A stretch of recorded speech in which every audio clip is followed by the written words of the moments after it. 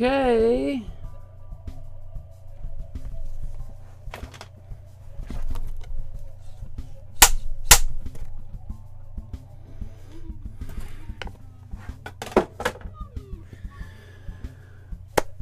Good afternoon, everyone. Welcome to my studio. My name's Michael Markowsky, and today we are going to be recreating another painting by another one of my all time very favorite artists. The best artist in the during the 18th century in England. We're going to be talking about drum roll Thomas Gainsborough. And not only are we going to be talking about Thomas Gainsborough, we are going to be talking about his most famous, most critically acclaimed painting of all time, The Blue Boy from 1770. This painting was a life-sized painting of a you know, a young man, probably around 13 or so, and this painting at one time was the most famous painting in the entire Western world. It was a beloved treasure of England, and when it was sold to Henry Huntington, the railroad magnate uh, who is famous for building all of the the the transit system in Los Angeles before it was torn apart and replaced by cars that's a whole other big story we can get into. But uh, Henry Huntington made his money from the, the Pacific Railroad in uh, Los Angeles. He bought this painting for what at the time was a record 11 in our dollars, 11 million dollars for this painting. At one time it was the the the most expensive painting on earth and it caused a huge uproar, which led to new laws, not only in England but across the world, for uh, to protect valuable national treasures, uh, cultural items from leaving the country. So now in England, because of this painting and a few other ones, before a painting like this can be sold at auction and and be transported from its country of origin, there has to be at least an opportunity for museums and collectors within uh, England, in this case, to uh, try to purchase the painting before it can be sold. So there's a lot of interesting stuff we could talk about in this specific painting. Uh, and then lots of things that branch out from that. So I'm super excited to paint today's painting. This is this is a bit of a challenge. So, for those of you that have been anxious to get back into the Thursday paintings with me, as I restarted the Intro to Painting course on Tuesdays, we have got one for you. Holy smokes, do we ever got we got a, a big one? so let's get right into it. Uh, what I want to do is I want to show you the.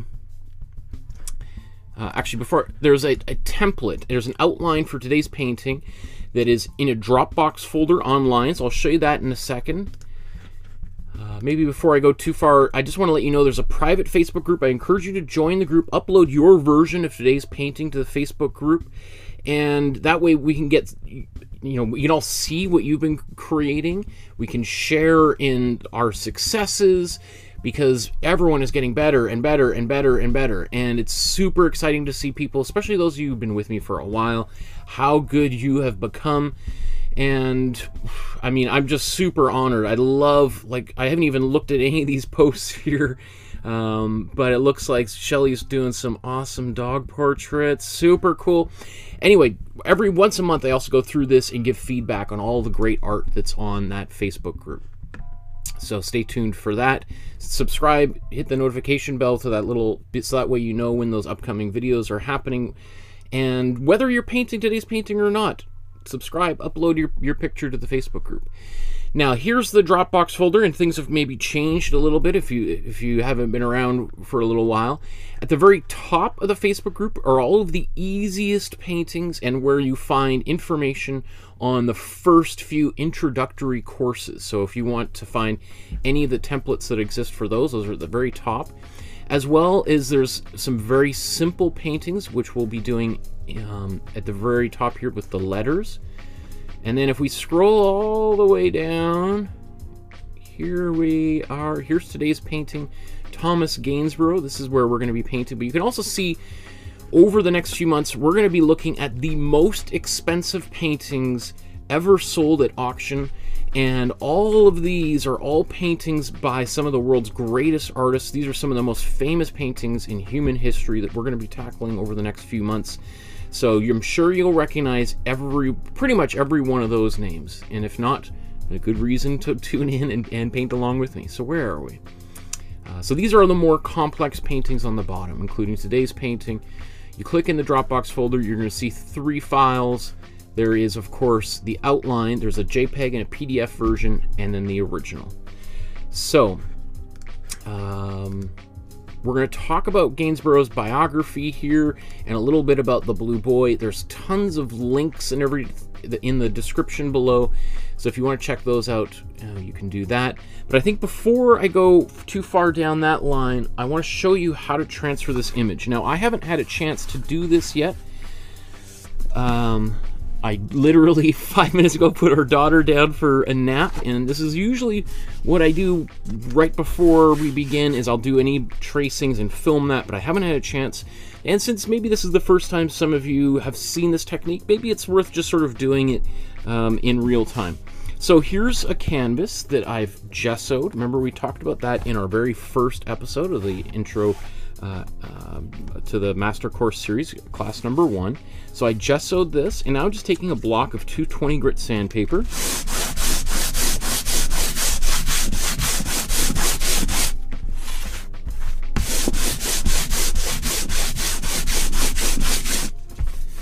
And I'm just gently going over the surface here. And that just takes, uh, it smooths the surface, takes out some of the, the texture, which is the whole point of putting gesso on there anyway. And just to make it a little bit smoother. Because personally, I find it's so much easier to paint on a smooth canvas than it is a canvas that is a little has still a lot of texture on it especially when we're doing a, a, painting like today which has a has a relatively high amount of detail okay so the next thing I'm going to do is I'm going to tape this image down. Now I just printed this off. I have an inkjet printer here. I just print it off from right from the Dropbox. I literally download this from the Dropbox because uh, the computer I do this on is upstairs, so I, I, just like everybody else, I use the exact same file that's there on the Dropbox. I'm going to use some tape.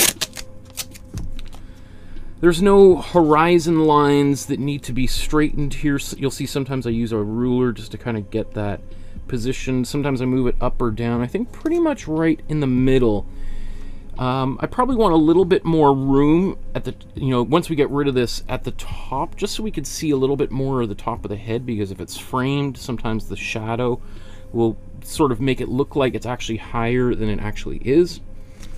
So we'll put that on.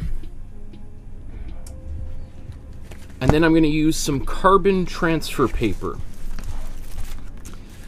And I'm going to use a piece of carbon transfer paper that I've used many times because I'm just I just need to get the image on here. It doesn't need to be super clear or perfect.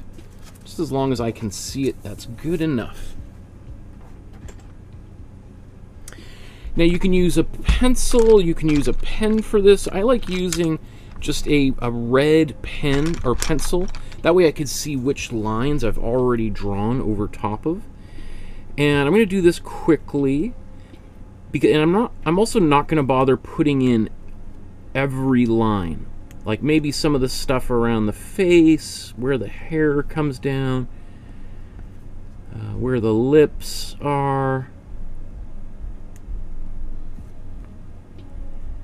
You know, any kind of major um, shape needs to be traced, but otherwise, the majority of it we can kind of keep as is or keep un, untraced.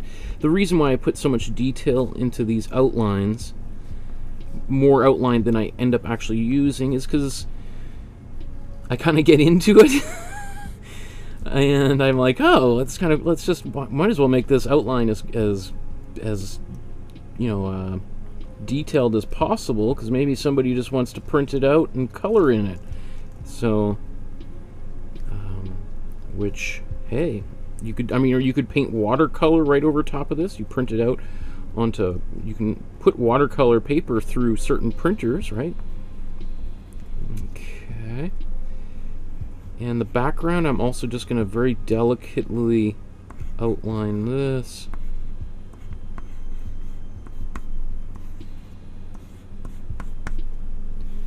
A lot of this background is going to get darker really quick and we're going to lose some of this detail. So I just sort of generally where these trees are going to go.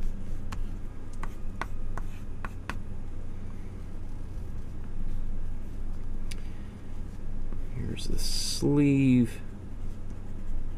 I mean, again, this painting is larger than life size. So it is, I think, 70 inches tall um, by I think 30, 40 or so inches wide. We'll take a look here as we go, but it's a it's a big painting, and we are painting it on a 9 by 12 sized canvas, right? So it's much much smaller than the original. So we aren't going to get all of the subtle details in the face and all the fabrics.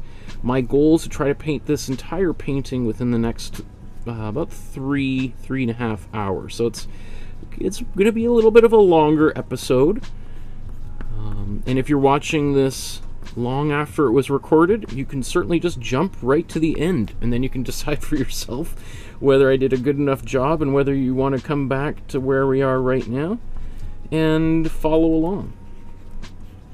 Interestingly enough, this area right down here that I'm just tracing, uh, in they've done x-rays of this painting and discovered that there was once a, a big fluffy sheepdog right here and it was painted out and we're going to talk about that because because that sheepdog was once there it has led to some more recent conversation about who this person actually is okay before i tear that tape off let's just see. Ah, look at that. I forgot to do a little bit of this hair. Right, so that's why before I tear the tape off, just want to make sure it's all there. Right, you can see like the details in the face. For me, I'm I, am i am not so concerned about making them perfect because a lot of that is going to get lost. Okay, I'm happy enough with this. I'm going to save my outline.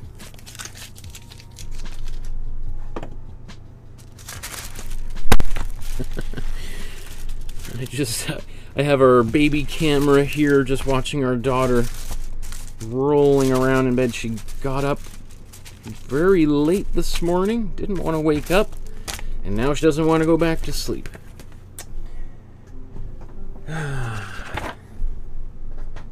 The joys of parenthood.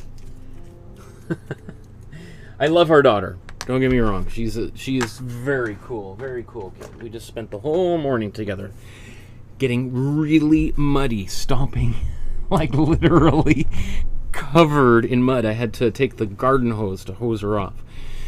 Okay. um, so let's do what we normally do, which is to or at least what I normally do, which is to coat this painting with some warm yellow. Now, that's not what Thomas Gainsborough would have done. It's this is a, a bit of a derivation of that same technique because what uh, most painters would have done it, it from this from basically over the past 600 years would have been to apply a colored ground, just like we're about to do, and that ground is called an imprimatura. That's what the Italians who invented this technique were called, or, or called it. And the imprimatura is the first paint, the first layer of paint. I'm just putting all my colors on here. If you need, if you want to know what colors I'm using, all of that information's in the video description below, and I, have just, again, been doing a whole um, series of videos explaining the very, very basics of acrylic painting and all of these colors, and including, if you don't want to use this brand, um, the colors from alternate brands as well. So now I'm going to take some water and put this. This is really the only time I ever use water in my paintings. And I just realized I didn't clean this palette and there's some dried white on there. We'll see if that turns into...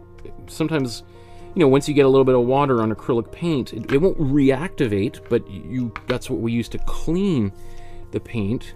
So, it looks like for now I've managed to prevent that little chunks of white from flaking off, but maybe I think that's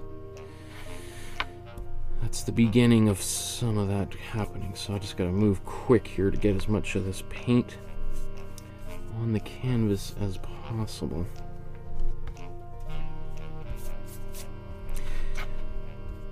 So in that painting, the first few episodes, I talk about why I, I do this often. Like, there's so many different reasons, and I, am not going to go through all of them again because I've, I sort of did, covered that in that episode. But um, I must have been pressing quite hard with my pencil because these pencil lines on this painting from the carbon paper are, are pretty dark. So um, this is also just going to help seal that in a little bit so that they don't smudge with next colors. Now this generally, and we'll take a look in a moment here at the original, and you'll see that there is a color underneath all of the colors. That imprimatura, but it won't be this exact color. So here's some of this.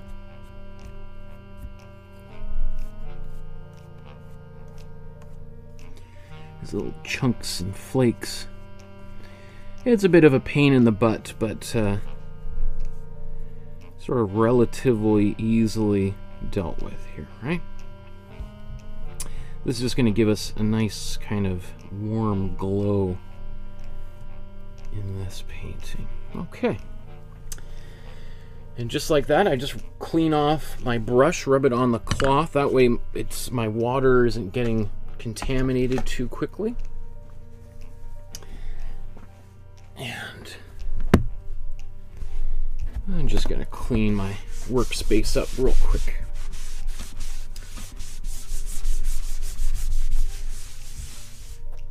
Okay, so I'm to let this dry. And while that's drawing, we're going to talk briefly for about five minutes about Thomas Gainsborough's biography, lots of questions and comments there in the chat, so I'll try to get to those as quickly as possible too. So, uh, Thomas Gainsborough, born in 1727 and dies in 1788 at the age of 61, which is, you know, I guess would it, it's probably the the average age for for a, a, a, healthy individual at that time. Obviously, that would be young for our, our time. But still, there were many artists that lived longer than him, especially some of his contemporaries. Um, Sudbury, Suffolk is just east of London on the towards the coast and uh, you know I think about like an hour's drive from London and he grew up in a family that was um, sort of middle class family. His father was in the uh, in the textile industry, was a uh, a weaver and created woolen goods, and you know at a fairly early age, Thomas Gainsborough was demonstrating his his technical drawing ability enough so that his parents sent him to London to study art at that young age. And at at this time, in you know, this would have been seven. What was it? Seventeen forty? Yeah, seventeen. Uh, where's it? I don't know if there's. I haven't read this. I've done so much other research here. I'm just. I think. Oh yeah, 1740. Yeah. So he leaves home at about 1742. Oh, this is not on the screen. Sorry. Um, so I'm just looking at the Wikipedia page here. Um, so he leaves home at the age of 13 to study uh, with Humbert Gravelot, who was a printmaker in London, although very quickly Thomas Gainsborough sort of falls under the, I guess, the spell or, or of, of uh, William Hogarth. And William Hogarth is another great English painter of the time.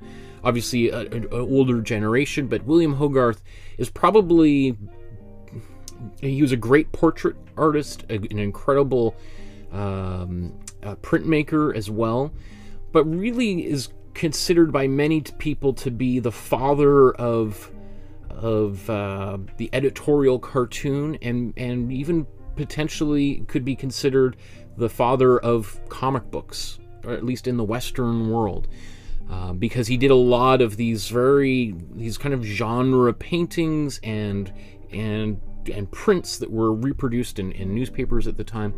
So it's it's interesting when we consider that Thomas Gainsborough was studying from printmakers because a lot of the times the the job of a printmaker you know in this early relatively early stage of the the printing uh, you know the printing process had only been around for a couple hundred years and and most of the time print printing when at least when it comes to art was used to reproduce other famous artworks. It's not real. I mean, around this time, there are a few other artists who take printmaking as um, as an art medium in and of itself, and it is used to help distribute images around the world, but it's often used to copy other art and to put it in books. So often, you know, if you were looking at, an art history textbook at the time of when Thomas Gainsborough was young, it would be full of of copies that artists like Hogarth and Gravelot and even Gainsborough himself would have done of other famous paintings because the technology didn't exist to take a photograph of let's say the Mona Lisa and then print it in a book someone would have to draw it and that would be what we would would have seen right? So i find that stuff very fascinating because there is that little area of interpretation where maybe you know we just sort of take it for granted that the, the print looks like the original in, because unless you actually go to the other uh, country which could be quite far away and quite costly tourism is just beginning as a concept you just have to take it for granted that the printmaker did their job really well anyway long story short let's continue on here um, by the age of 25 he's married he has two children and he's very quickly establishing himself as one of the preeminent portrait artists in England. And he is getting commissions from the most wealthy, most powerful people in England, including the King and the Queen of England. And, you know, there's. He, becomes the, the favorite painter of the King we'll, and we'll come back to that in a second here because that's a, an interesting kind of uh, relationship. Um, and because of this, of his popularity and his recognition, he's invited to become one of the founding members of what becomes known as the Royal Academy. And a lot of other European nations at this time have also these academies of art. And the academies are these become these very powerful institutions, really the gatekeepers of what art is within each individual country, right? There's the famous academies in France that the Impressionists later rebel against. Uh, here in England, the Academy is, you know, if you basically the, the only way art was exhibited during this period is you would submit your painting to the academy and they would judge it and if they believed it was of of um, of high enough quality and and and upheld various principles that they had literally printed out then you would be accepted to exhibit your work usually once a year. Sometimes they'd have uh, like a summer and a fall or winter exhibition. And those and then th- that's the people would come and see it. And and those exhibitions were hung salon style literally paintings all up on top of one another all the way up to including sometimes even the ceiling. And we're talking you know like your high school gymnasium type of space like airplane hangars full of paintings all the way up to the top. And literally you you somebody we sitting there with little binoculars on a stick looking oh yes that's a beautiful painting. Oh yes. Oh i like that one. The third one from the top on the ceiling there. It's just crazy that that's how art was exhibited can you imagine having your painting like like the up at the ceiling they'd be they'd be on an angle right like you might have your painting up there at the very top you know and people are way down below. and They're trying to. anyway, so that was the state of affairs at the time, and Gainsborough is invited to become one of the founding members of the new Royal Academy in England. And he participates in the academy, he shows with them, but Gainsborough is a bit of um, a bit of a uh, he has a kind of a revolutionary kind of a spirit and he has many disagreements with the academy including the man who would feature prominently in his life going forward sir joshua reynolds. And sir joshua reynolds becomes really the most powerful person within the, the english art world at this time and is the president of the royal academy and later on, when the, the sort of official portrait painter of the king dies, even though Gainsborough was the king's favorite, that position, you know, was sort of reserved for the president of the academy, and that went to his bitter enemy, Sir Joshua Reynolds, which I'm sure did not go over very well, right? And I'm sure Joshua Reynolds probably relished that. Mm, I love it. Oh, my enemy isn't allowed. But of course, still the king would invite Gainsborough to come and, and do the occasional sort of portrait on the side or just have tea, etc., right? Um, what else do I want to mention? You know, it's interesting that Gainsborough is this is this is his most famous painting, The Blue Boy, and yet he was not a particularly satisfied doing portraits. I think he talks somewhere about it's probably in here about his really his desire is to retire from the big city London and get away from all the politics and all these these he he he, he talks very colorful about the the wealthy people who were his clientele as sort of just being the only thing that's that's worth looking at i think he, the quote is the only thing worth looking at about these people is their purses their hearts are empty I'm sort of paraphrasing but oh i, think it's right here um, yeah the only thing that the, worth looking at is their purse their hearts are seldom near enough the right place to get a sight of it right um, so their hearts are hidden. They're they're just void of anything, you know. Which is you, maybe things haven't changed in five three hundred years, right? Um, what else do I want to mention? Maybe we'll get to some of the other stuff with later on his biography. Anything else?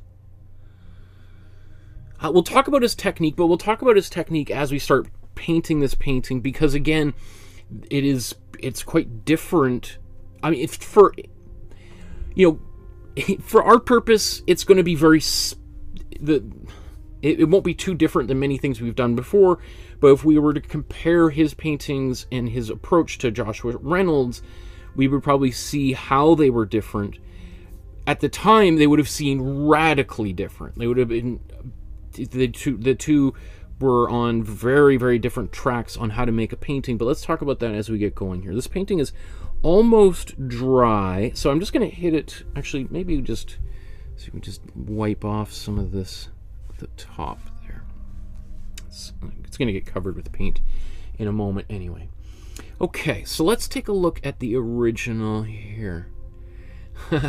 Gail says, Hi everybody, today's one's going to be a tough one. Um, Paula says, Michael, you forgot your blue painting shirt. I'm I'm I'm gonna wear this sweater from now on, or at least for the next little while. Um, especially because it was now it's getting a little hotter in my studio. um, Uh, anyway, it's also kind of a nice, it kind of reflects a little bit of light as opposed to my belly absorbing all of the reflected light, so I get a little bit of light coming back from this area. Anyway, I appreciate the comments there. Color says, when will we do another episode reviewing people's paintings? Uh, I, I, I can't remember the schedule. It's either next weekend or the weekend after. So I'll take a look at that. But again, subscribe to the Facebook group and you shall, all will be revealed, right? okay, so let's do a little bit of detective work on this painting. One of the really okay, if we go just back to what I was saying before about Sir Joshua Reynolds, many people consider this painting to be a sort of rebuttal to uh, Reynolds, in that Reynolds, his approach to painting was very, very um, formal, very academic. He was the head of the academy for, uh, but. Uh, really applying very classic principles of painting, many of which we use in these paintings, right? And Joshua Reynolds was pretty adamant that if you're going to use a cool blue, it must be in the background. No ifs, ands, or buts. And if you're going to put it anywhere in the foreground, you got to do it very delicately, just a little highlight or two. His rival, Thomas Gainsborough, says hold my drink. You you say we can't make a painting with a cold blue in the foreground. Ha, really? Okay. This is what he does in response. Now, again, that's sort of the the the myth that has come down to us from history that this is the official response to to Reynolds. The the quote of Reynolds talking about the blues being cold blues only in the background was actually written eight years after this painting was made. But I, I I'm pretty sure that Gainsborough would have been aware of Reynolds, and because it's not like Reynolds just came up with that, it would have been something he would have been talking about and writing about. You know, them when they would have gotten together, because there would be these banquets of all the members of the academy, uh, and they would have probably had some pretty fierce arguments about some of these ideas. So this, and at the very end of the day, I think this still that that that idea of of Gainsborough sort of using this painting to to directly confront one of Reynolds' primary um, uh, one of his primary technical gold standards, I think, is, is still holds up here. So what we're looking at is this boy who is painted with a lot of cool blues right in the foreground. And that, you know, in I think is it next week we're going to be talking about warm and cool colors for our beginners class. And one might say this is breaking the cardinal rule of warm and cool colors. And yet Gainsborough manages to pull it off, and it becomes the most successful painting in the Western world. How did he do that? What is what's going on in this painting that both breaks the rules and yet upholds the rules, right?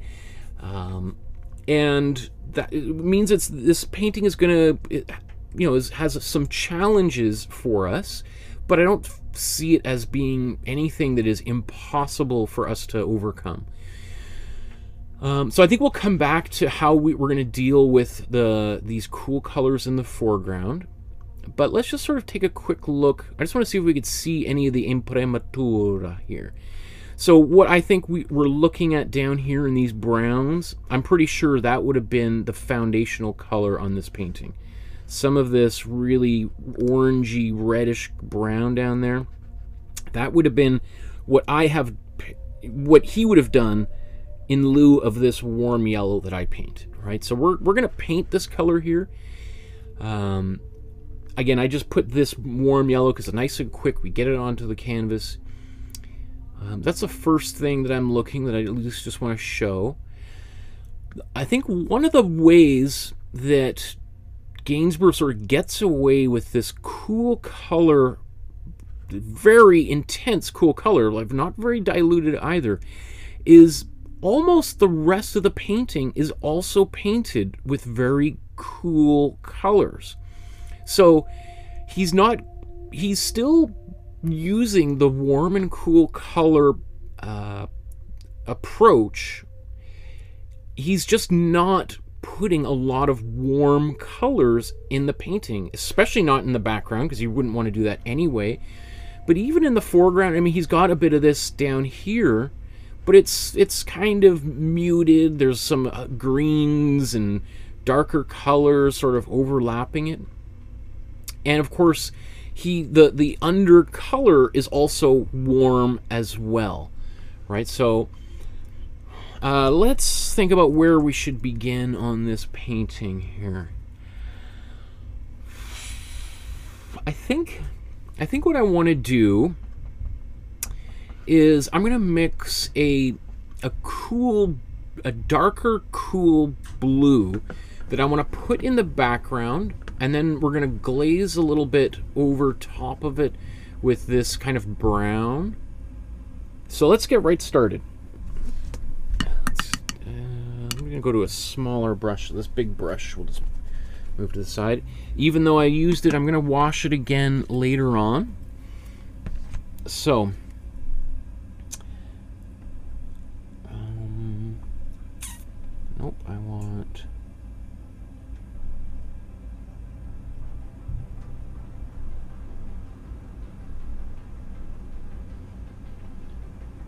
Come on. Okay. So to get this color up here, because I'm going to start in the background, what I'm going to do is I'm going to take my cool blue.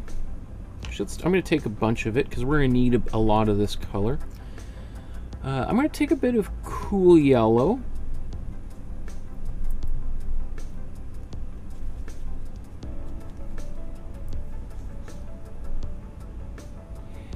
I'm going to take a, a, little bit of warm red. Not a lot. I don't want to make a black. I just want to darken this color. So by putting that warm... I mean, basically what I've done here, this combination of colors is the same combination that I would use to make our black, but I'm just not using the same ratios of color. I just want something that's going to be kind of a dark blue, but not the darkest color that I can make. In fact, let me give it just a bit more of a, a greenish quality here. And let's just look at this original here. Alright, I think that's pretty good. I'm also just going to add a little bit of... Oh, right here. Just going to put a bit of matte medium in here just to thin it out just a little bit. I don't want to get rid of the the yellow completely. Alright, so this is going to make this color just a little bit more transparent.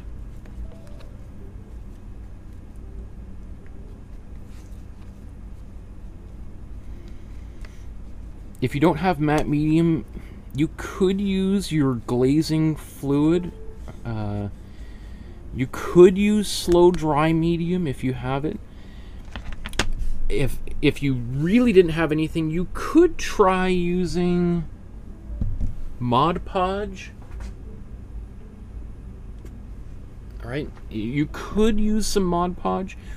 Probably not recommended because Mod Podge, I don't really know. I haven't, I've never really investigated it, but I don't imagine Mod Podge is the best thing for like the a long-term health of a painting. I think it's more formulated for kind of craft purposes, but I think it could work if you just if you're just looking around your house and you're like, "Oh, I don't have that."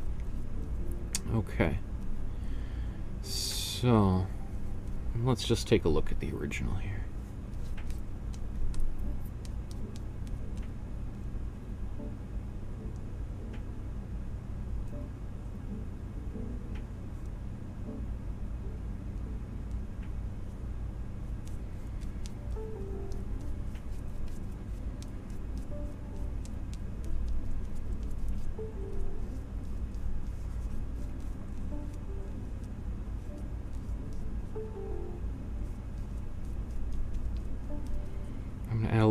White in here for these clouds.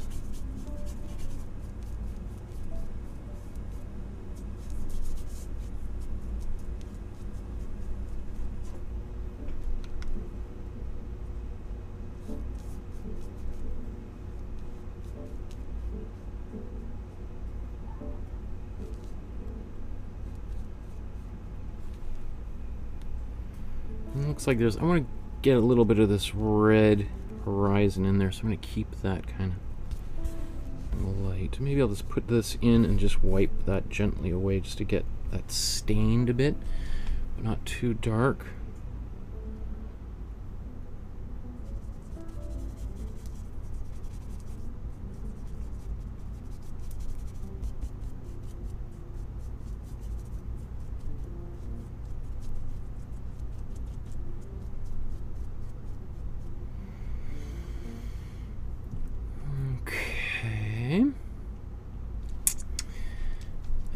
Also take this color. We could do it in the trees, but I think I might just use a slightly lighter version of that for the trees. Um, I'm going to use this just down here. I'm going to paint over it with a, something a little bit warmer.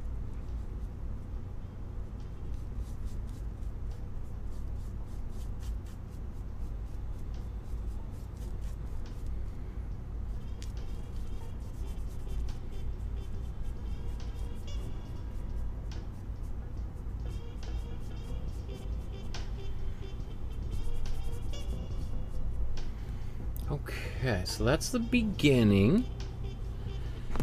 Um, let's just... Actually, maybe while I'm right here, what I'm just going to do is take the same color, mix it into my cold blue a little bit. And we're just going to paint in some of these trees. So you can see we're sort of getting some a different kind of color here.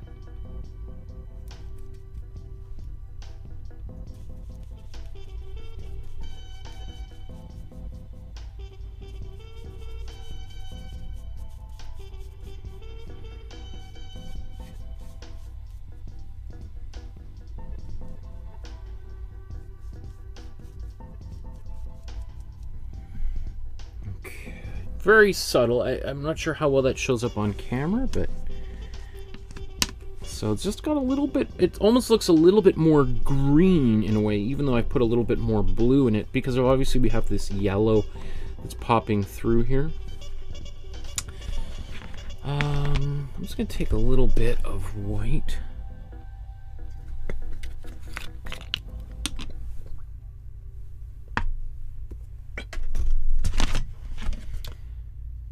Take a bit of this white.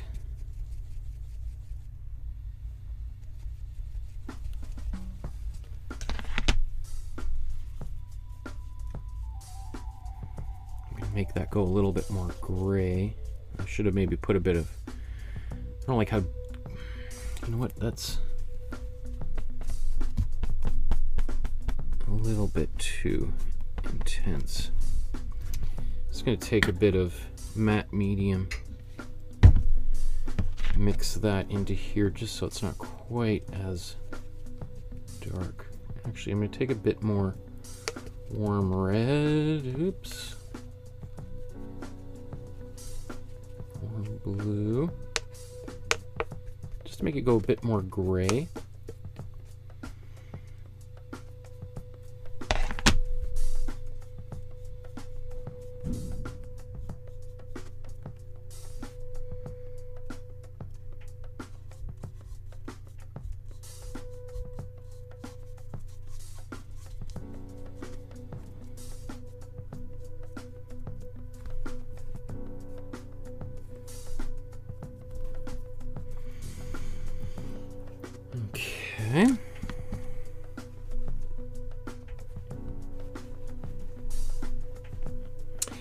Next I'm going to mix the color down here. So I think what I'm going to do, uh, because I think this is what he was doing, is I'm going to mix a cool brown. So I'm going to, it's rather, usually I, I mix a warm brown. But again, because the he's using this very cool blue right in the foreground, in order, I don't want this to come in front of his body. So I'm going to use a bit of a cooler yellow.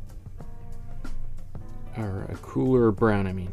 So I'm going to take my warm red and, or sorry, I'm taking my cool red and cool yellow, mixing this together. Might as well take just a little bit of this blue.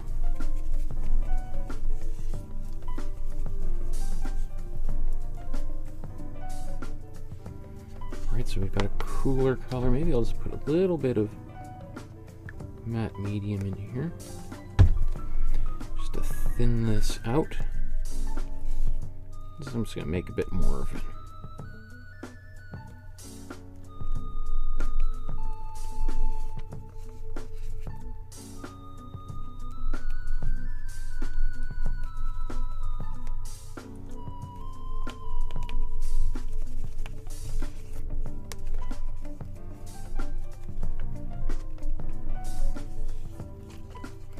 So what I did is by adding this color here, the blue, that cold blue, just sort of brings it back from an orange to a brown, right? So let's just take this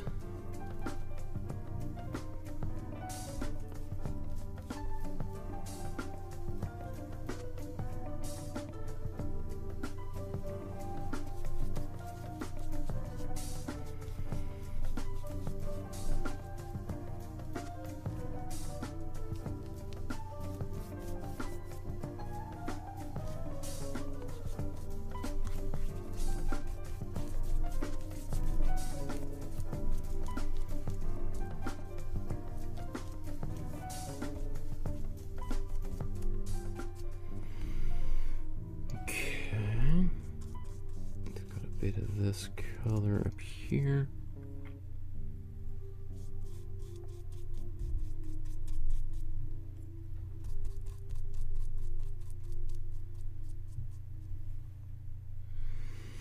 And then we're going to put some of that in the sky here in a moment as well. I'm just going to, I need to blow dry all of that. And there's just a little bit in between his legs here.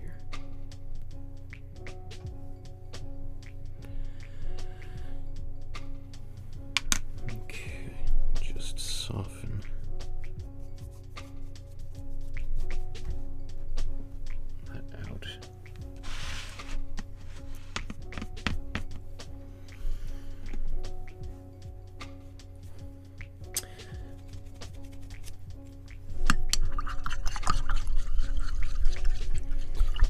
so that's pretty good for our initial layer of the background. Right, the color it's it's the colors look kind of pretty strong.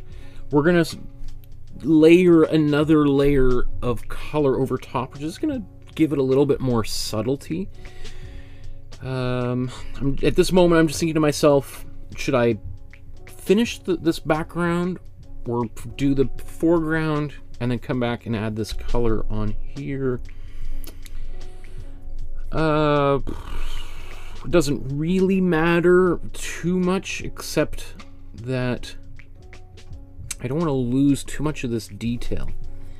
So what I think I might do actually is try to mix a bit of a darker color for myself that I can use to do some outlines. So I'm going to take my warm red and the same color Actually, there's a bit of white in there, which is... Or maybe there's just... Maybe there isn't white. Maybe it's just... So this is my cool blue, cool yellow, and warm red together. And these together will mix like our darkest dark. There's a bit of white in here, which is just making it go a little bit gray.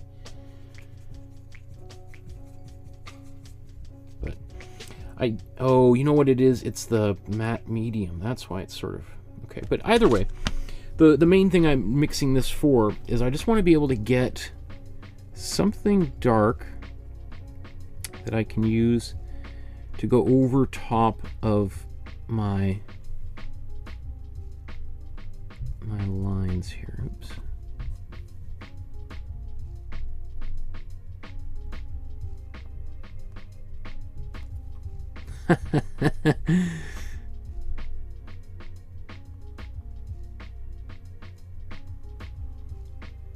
right. Now um, yes I might lose a little bit of these details in the figure but I've never really been I, I, I really strongly discourage you from becoming like a slave to your to your outlines. That way you're it's just going to slow you right down. The outlines are there just to kind of help get the painting started.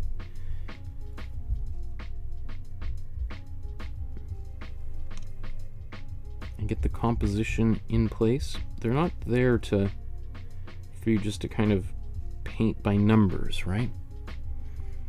So this just gives us an idea of where everything goes.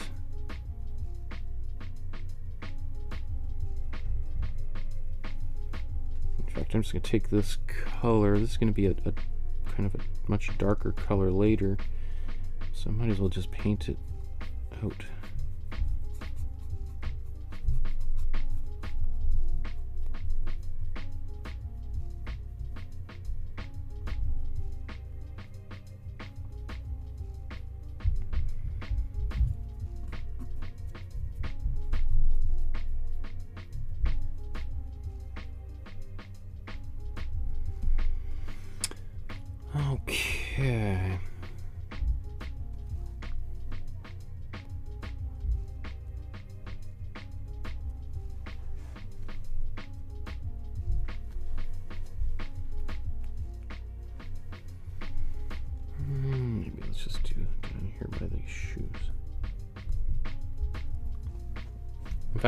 Actually kind of like that color. We can use that same color for some of this shadowy stuff too now that I see how it's developing. But we'll reserve that for that moment here as we get going.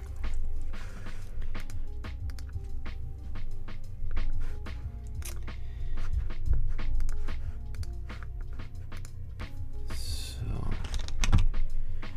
oh our daughter finally went to sleep Yesterday, I put her down to bed at 2.30.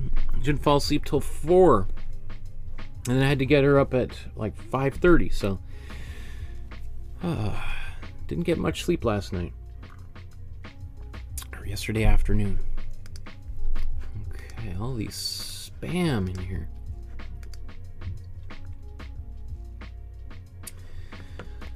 Um, okay. Uh, still a little bit wet, so let, I'm just to blow dry this here. And then that way I can now, I think I'm to paint on the, the body and then we'll, we'll go back to the background. We'll finish the background. Then we'll finish the blue boy. Okay, so one second. So mute the microphone.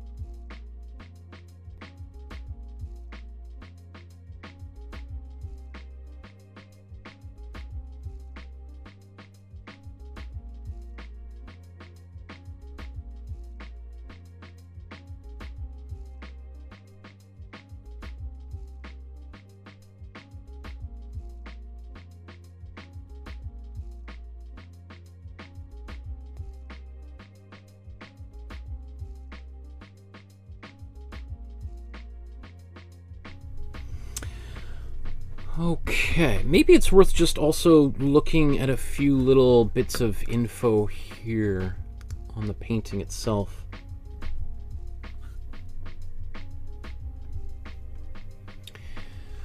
Um, so this painting exists as part of the Huntington Museum and Library collection. Uh, do I have? Oh, I didn't open. Oh, yeah. Here's their website. The Huntington Museum is a great museum, probably a very forgotten museum in the United States. Even people in Los Angeles may not be familiar with it. If you grew up in Los Angeles, you probably went to the Huntington Museum on a field trip. When I lived in Los Angeles for 12 years, it uh, it's just sort of just it was near where I used to live in Pasadena, and San Marino is sort of the next little. There's Pasadena, South Pasadena, and then San Marino, and it's this gigantic uh, estate that uh, looks it has it's sort of modeled after a great European like Versailles like kind of place, right? Henry Huntington, who was this very wealthy man that made his money uh, by selling real estate and building train lines, the the Pacific rail cars, which used to crisscross all around Los Angeles and he made a fortune doing that. In fact, he had his own train line that would go from downtown Los Angeles right to his front door. Right? That's when you if you own your own train line, why not, right? Just as an aside, I'm, I find all this really fascinating is that I, I, I lived for 12 years in Los Angeles, and you'd hear from people all the time like, oh, LA is this horrible place to drive. And it's how ironic because it was built around the car. That's not true. Los Angeles was built around the transit lines. Los Angeles at one point had the world's greatest transit system. It's hard to believe today, but at one point Los Angeles had incredible public transit and one of the ways Huntington made a lot of his money is he would buy these far off these properties that, that were out, you know, an hour's drive outside of Los Angeles and you just buy it for pennies on the dollar and and people be like, why would you want to? Just isn't the, it's just dust and and there's nothing here.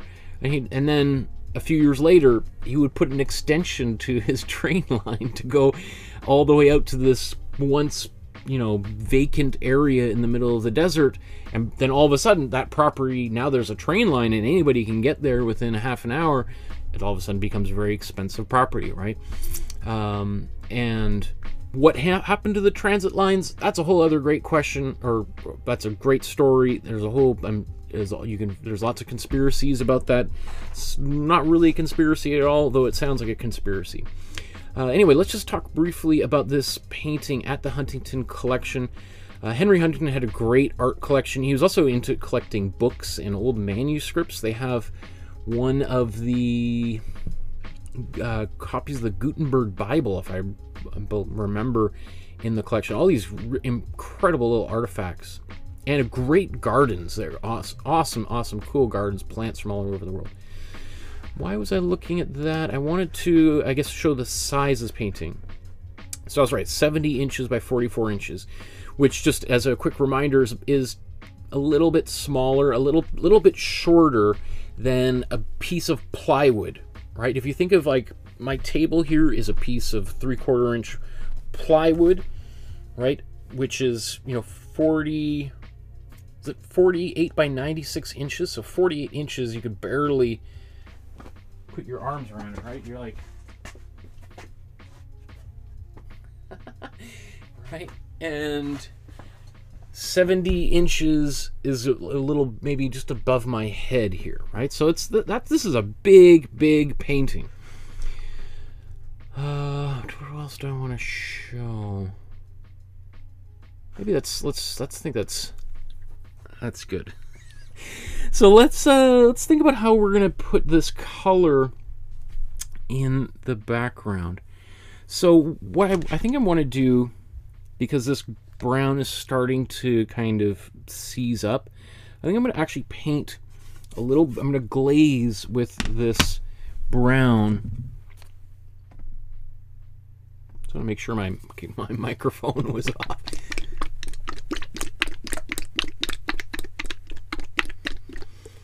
That is so interesting. Deborah says, on another note, Af- Michael, after World War II, it seemed like all new wives seemed to get a copy of the Blue Boy as like a wedding present.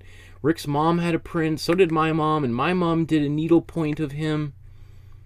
Uh, and did you see Who Framed Roger Rabbit? Who Framed Roger Rabbit? It's all about the conspiracy of the trolley system in Los Angeles. Yes, I was going to mention that. Yes. Um, I, that's an I, I don't know that I've never heard that story about the um, about people being gifted the blue boy or doing needlepoint of it. I mean, again, the Uh, or maybe I haven't mentioned it, but the Blue Boy painting was the most famous painting in the Western world for all of the 1800s, right? And we think of now the Mona Lisa as being the most famous painting on Earth. The Mona Lisa really, you know, was well known to some extent, but ironically enough, it wasn't until the Mona Lisa was stolen in, I think, 1911, 1912, around there. And Picasso was one of the artists that was suspected of having stolen the Mona Lisa and was arrested and, you know, interrogated quite intensely. It was a very traumatic part in, in his life and led to the breakup of him and his friendship with Apollinaire. I've told that story before but and that's that story is recounted really really well very colorfully in norman mailer's book uh, picasso as the a portrait of picasso as a young man. Great book. Even if you don't like norman mailer highly recommended. Um, but the mona lisa wasn't really famous until it was stolen and that was what sort of catapulted it into its fame. Prior to that prior to the mona lisa being stolen if you had asked anyone especially in the English speaking world, what is the most famous painting? This would have been the painting that would have immediately jumped to everyone's mind, no matter what class you know that you were from, because you would have seen this image reproduced in in newspapers, posters, needlepoint, like everywhere you would have gone. You would have seen this image, and so you can imagine. Just imagine if the French sold the Mona Lisa to in, in today's world, let's say if it was sold to a, like a Japanese or Chinese billionaire, right? That would probably give you an idea of how the English people at the time felt when the Blue Boy was sold to an American billionaire, right? People like just could not believe it. And if you think it's impossible for a museum to sell their artwork, that is one of the major controversies that's brewing in the art world right now because there's a lot of museums that are struggling and there's been a lot of museums that have been selling their collections selling some of the famous monets and renoir paintings that maybe aren't on display but might be in storage or maybe even on display because there's a few times that's happened over the past few years and people are have lost their minds about it. Understandably so, because some people, when they're donating a painting to a museum, they're expecting it to be there for till the end of time, not being sold to pay off the debts. Sometimes not even related to the museum, but as part of a university, etc. Anyway, obviously I've got myself into these tangents. um, let's go to a. I'm gonna go to a slightly smaller brush here. So what I want to do now is I'm going to try to get up into this brown here. Uh, oh, you know what? I wanted to get that white first. So maybe even bef before I do that, I just want to get a little bit more. Let's get some white on here.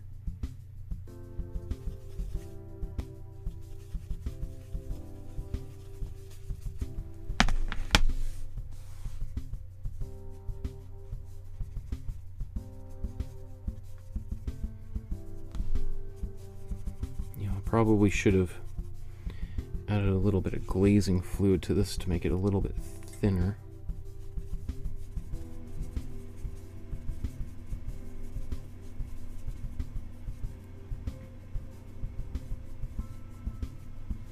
Because now that's pretty intense. So maybe I'll just see if I can just wipe a little bit of this paint off a little bit just to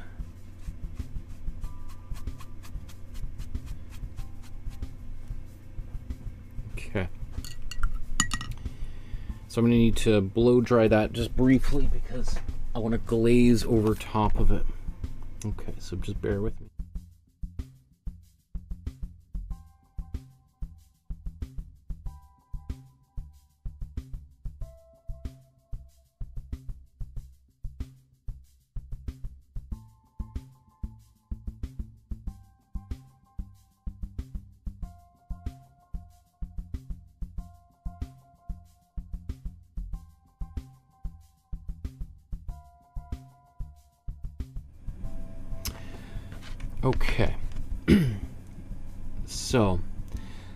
Take my glazing fluid, I'm going to get it all over my brush here.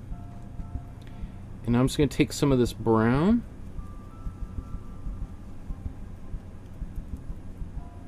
Take just a bit more yellow.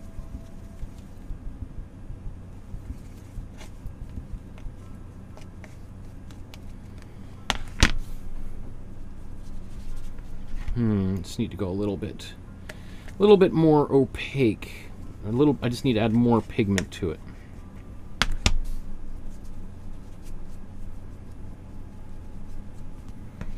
Even more, right? It's good to start out slow here when you're using glazing fluid because the whole point is to kind of make thin layers of paint. And if you just launch right in with some thick paint, it sort of just defeats the whole purpose of putting um, glazing fluid. You could do this with matte medium if you absolutely had to.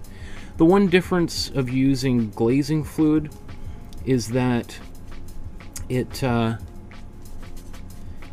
uh, has a, it'll take just an extra few minutes to dry, and generally that's appreciated. I'm just gonna glaze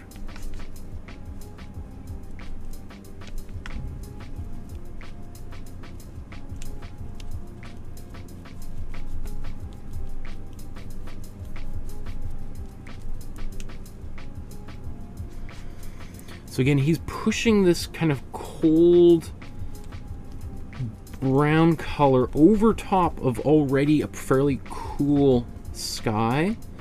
And that's just helping to continue to push, push, push, push the colors further backwards. Right, I do suspect, I feel like maybe I could have done a second coat of that uh, blue.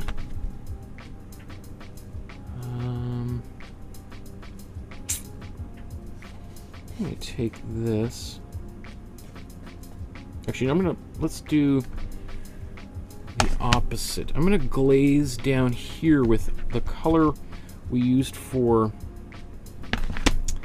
the uh, the outlining on the figure. So put some of my glazing fluid here.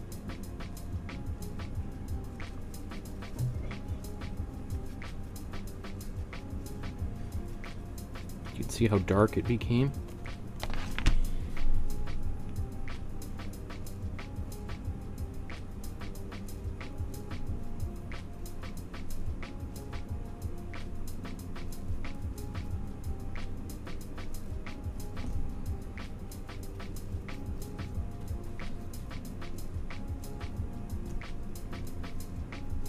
Okay, this whole darker area right in behind here.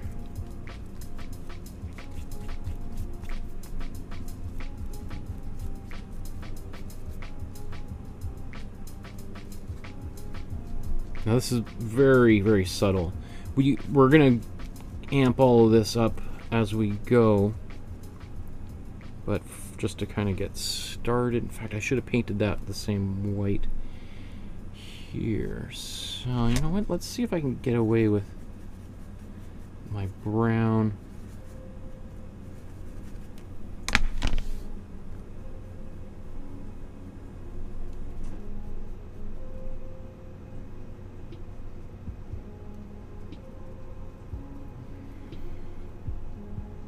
Here's just the collar.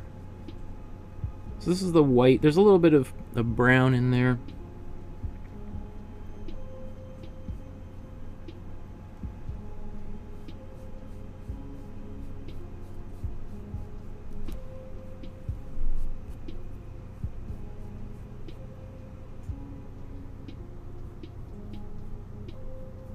You can just do his hand, just a tiny bit there.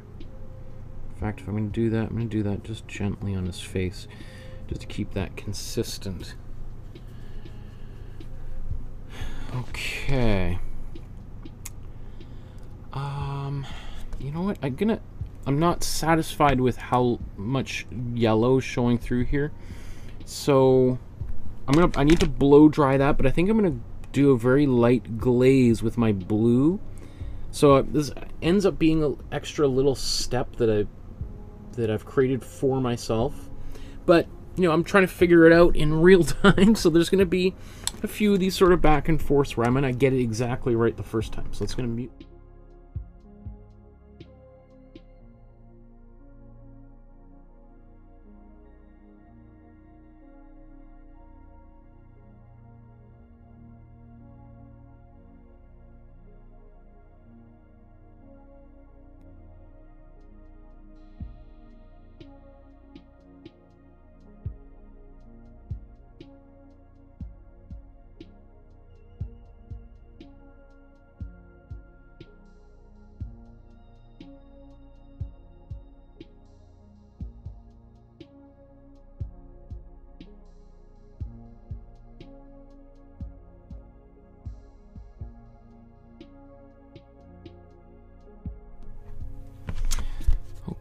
so I'm going to take this dark blue. I'm going to glaze a little bit with it. The same blue we put in the sky. I'm just going to take it. That glazing fluid's going to make it a little bit more transparent. There we go. So let's just see. Oops, we want this view. So it's it's sort of hiding a little like 70% of of the color that was there. Not all of it. We don't want it or at least I don't want it to completely disappear. It's just about sort of darkening it down just a little bit. Maybe just very gently doing this area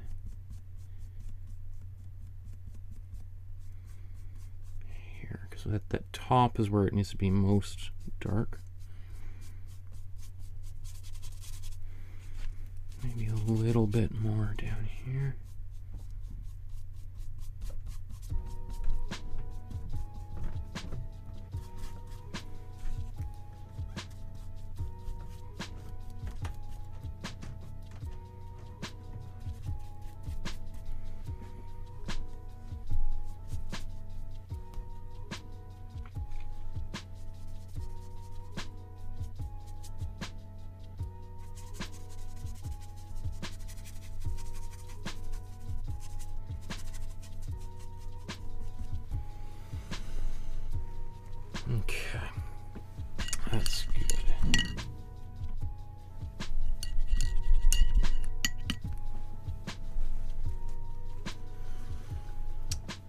Maybe while that's drying, let's do a little bit more of a, this darker brown. Actually, you know what? I'm gonna because I want to put that dark brown up here. So let's. I'm just gonna blow dry that whole thing.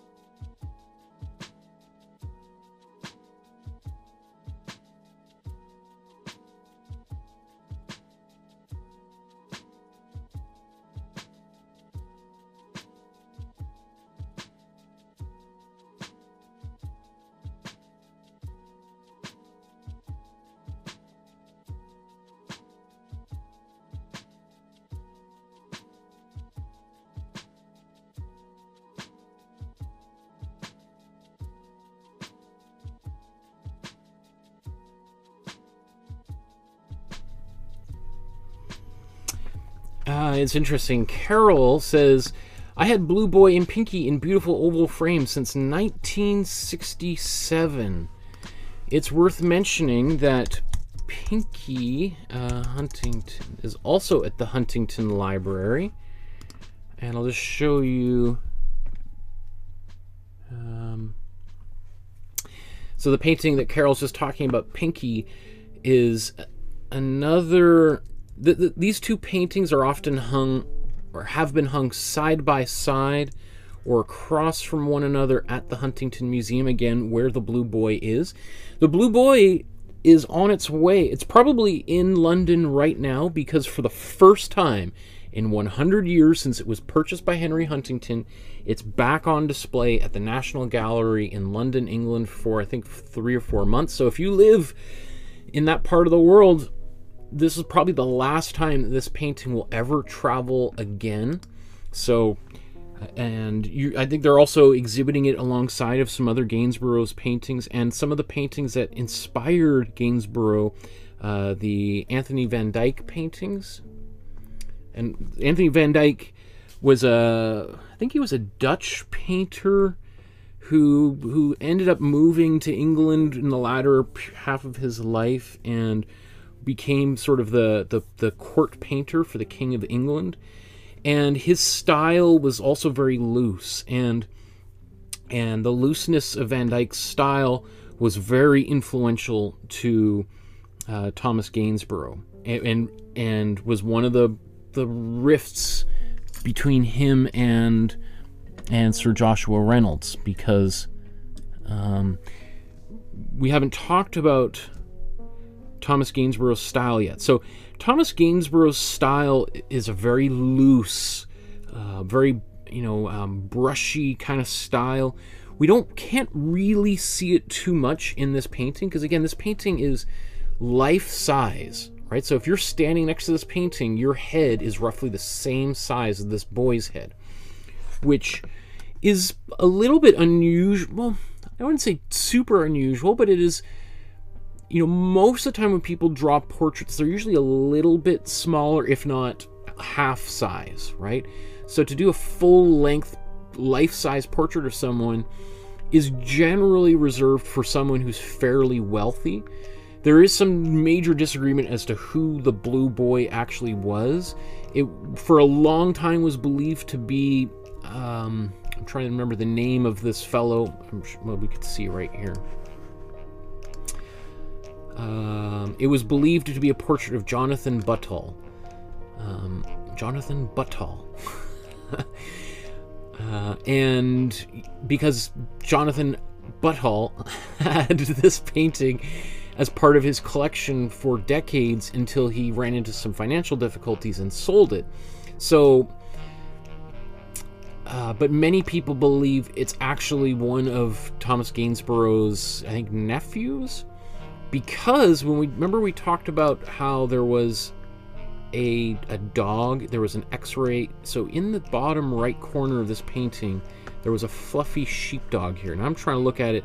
I think when i looked at the x-rays before it sort of seemed to line up with these rocks as being like the feet of the dog and the face somewhere here. Now obviously he's done a really good job of disguising it because we didn't know it was there until it was x-rayed but it turns out the the dog belonged to the Gainsborough family. And, you know, it's while it's possible that this Jonathan Buttall came over and um, uh, had his portrait painted next to the painter's or the painter's family's dog. You usually would have been, if you're going to get your portrait painted, you would bring your own animal. And if you didn't have an animal, you probably wouldn't include it unless it was part of like your your family's crest or had some sort of special significance. Uh, anyway, so that's why a lot of people now dispute the fact that it was Jonathan Buttall and instead one of the Gainsborough family uh, children.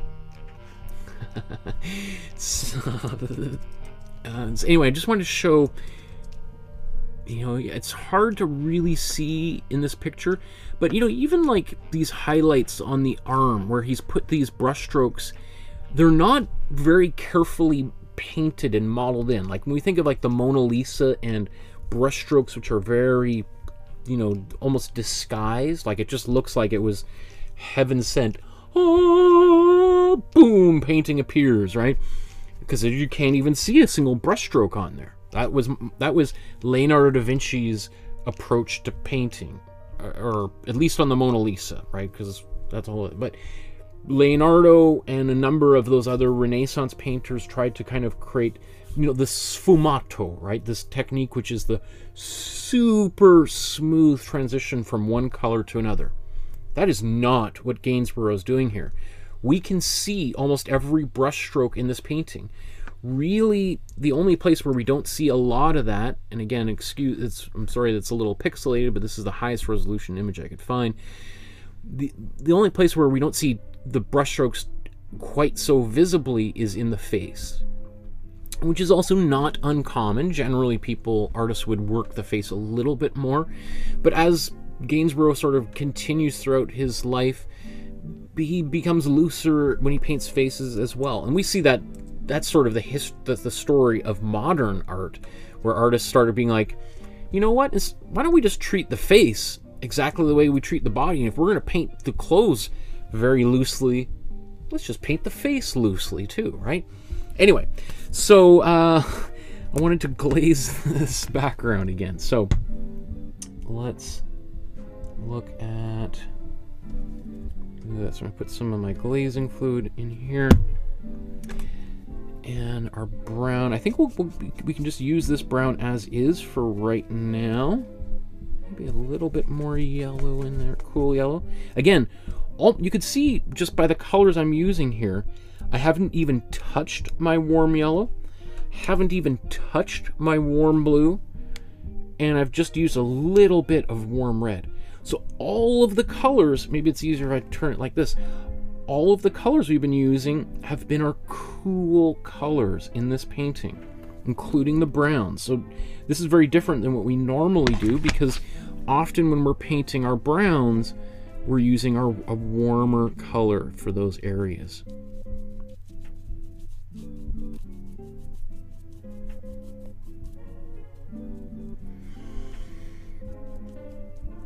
So the the benefit of doing a, of glazing is that we can really build up very carefully super subtle great variations in color and we can use our a mop brush as it's called to kind of softly blend those areas out. Now when it comes to this painting, we're not going to do too much blending except maybe in the face, but the face is so small that there's going to be very little room for doing that anyway. Um, let me see, maybe a bit down here.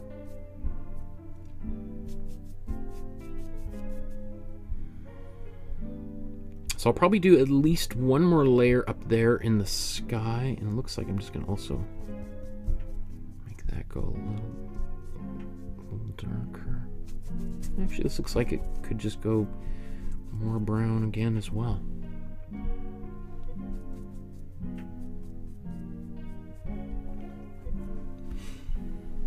Okay, and I so I think that i have been kind of little bit uh, timid with the way I've applied my glazing fluid here. I think the next one I'll just go, you know, five steps faster or further. So I want to come back down here and I want to glaze again. I'm going to take my, again, my, I'm going to mix this a little bit more. I'm mixing another brown. This one's just going to be much darker brown. So I took my cool yellow, cool red, and I'm going to take my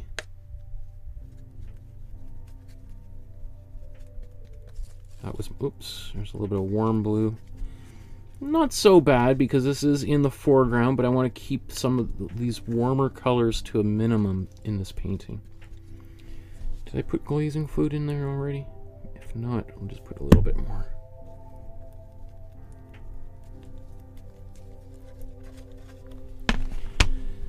Okay.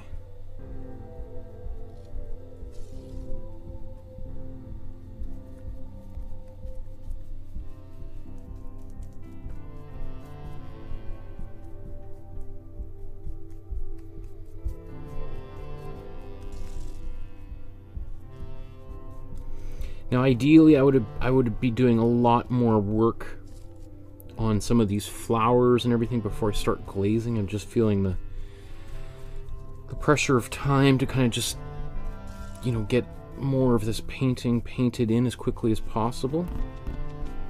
But I think, you know, should just just a bit of an introduction to his technique.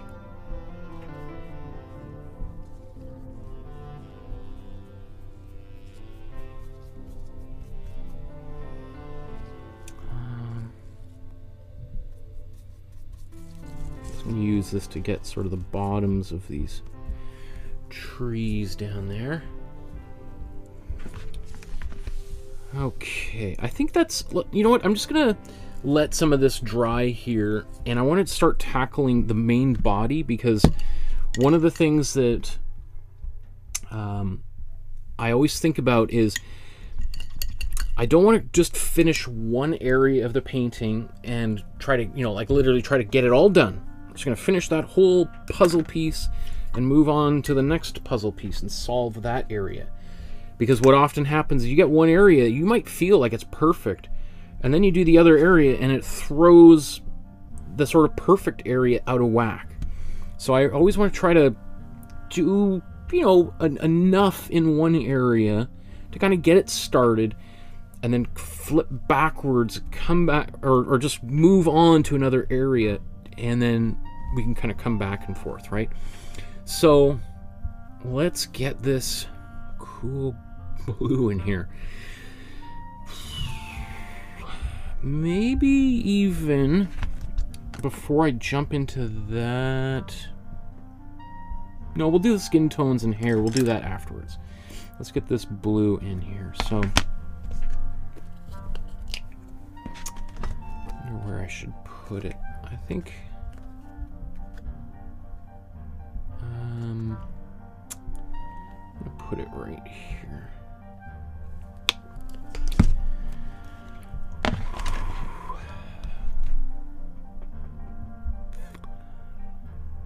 This is uh this is a challenge. Um okay.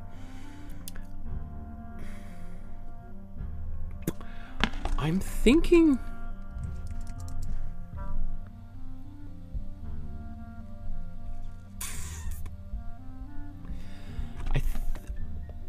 I'm so I'm not exactly sure the best way to do this because we're talking about the greatest, you know, probably in in terms of all-time history maybe the top in the Thomas Gainsborough would be indisputably within the top five of the greatest English painters, you know, the country of England painters of all time. And this is his best painting. And it's the painting where he's challenging this whole warm and cool color process to to basically throw mud in his arch rival's face. So we're I mean I'm just like, okay, uh, what's the best way to go about this? It's entirely possible. I, I think we're. I think I've got a good idea of how he's doing it, but so let's. I'm taking my cool blue. I'm adding a bit of um, uh, matte medium in here just to thin it out, make it a tiny bit more transparent. Because if you look at the chest here, do you see how there's there there's a, a level of transparency in here that I don't think is too far off the color that we also have in here. So what I'm my thinking is to put a, a layer of cold blue, uh, unalterated with unalter, uh, whatever, uh, without any extra material in it, any with the no value change or whatever, and just paint this over top and let's just see what we get. Obviously, it's because it, it, I've made it a little bit thinner with the matte medium, it's going to go a bit green rather than blue, but that's okay. And then in subsequent layers, we will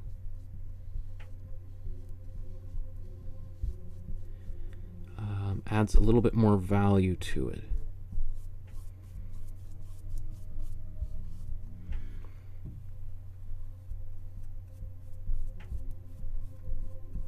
Now again, the original, he probably would have painted a, a warm brown in here rather than this yellow, so it wouldn't be quite so, you know, uh, electric blue here.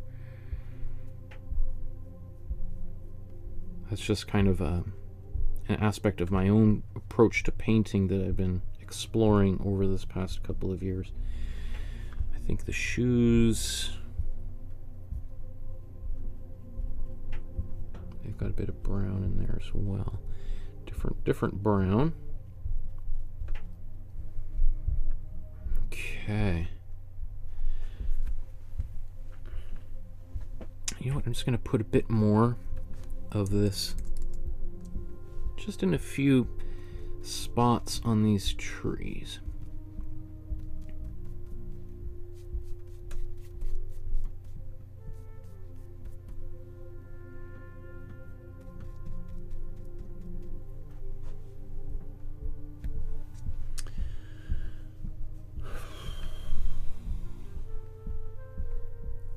What happens if I paint this over these socks too?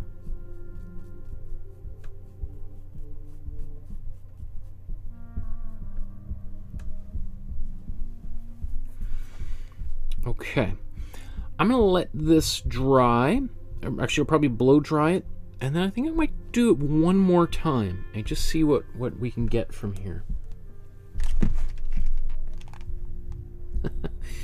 Carol says, You'll do justice to it, Michael. You always do. And Pascal says, No pressure.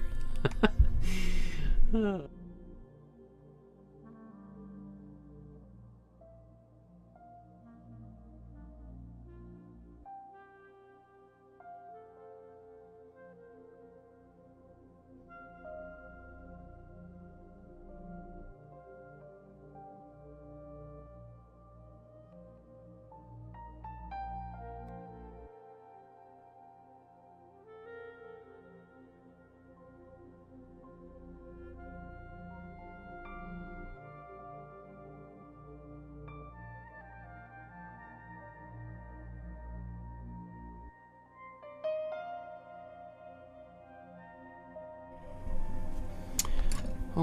Okay, so I think I'm going to take a bit of white. In fact, I'm going to take a bit of my gray. Not not too much of it, but a little bit of my... I'm just going to add a little bit of gray. That white is going to make it a little bit more opaque. And I'm going to try doing this again.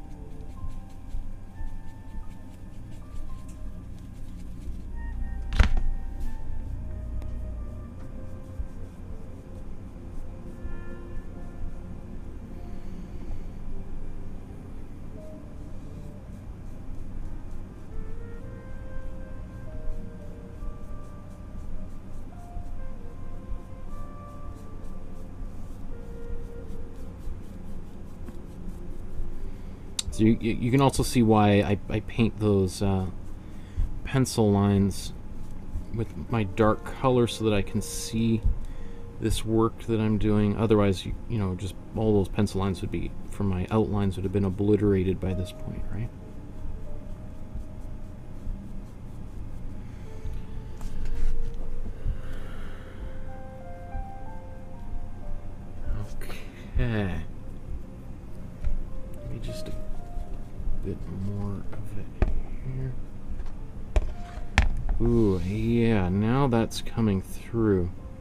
So I think it's that and then another layer of this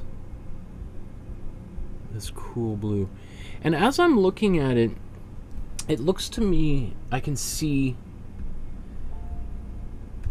uh, where am I here?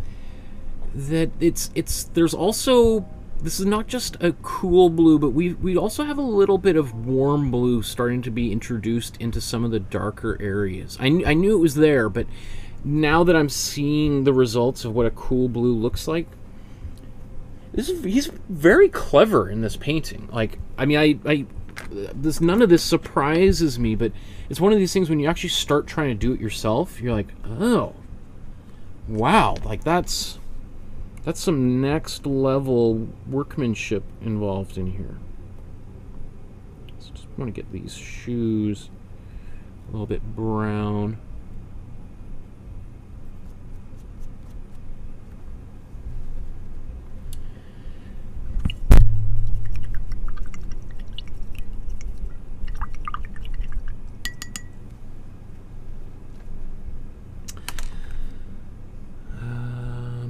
Carol says, I find it amazing how well a yellow background works no matter the palette.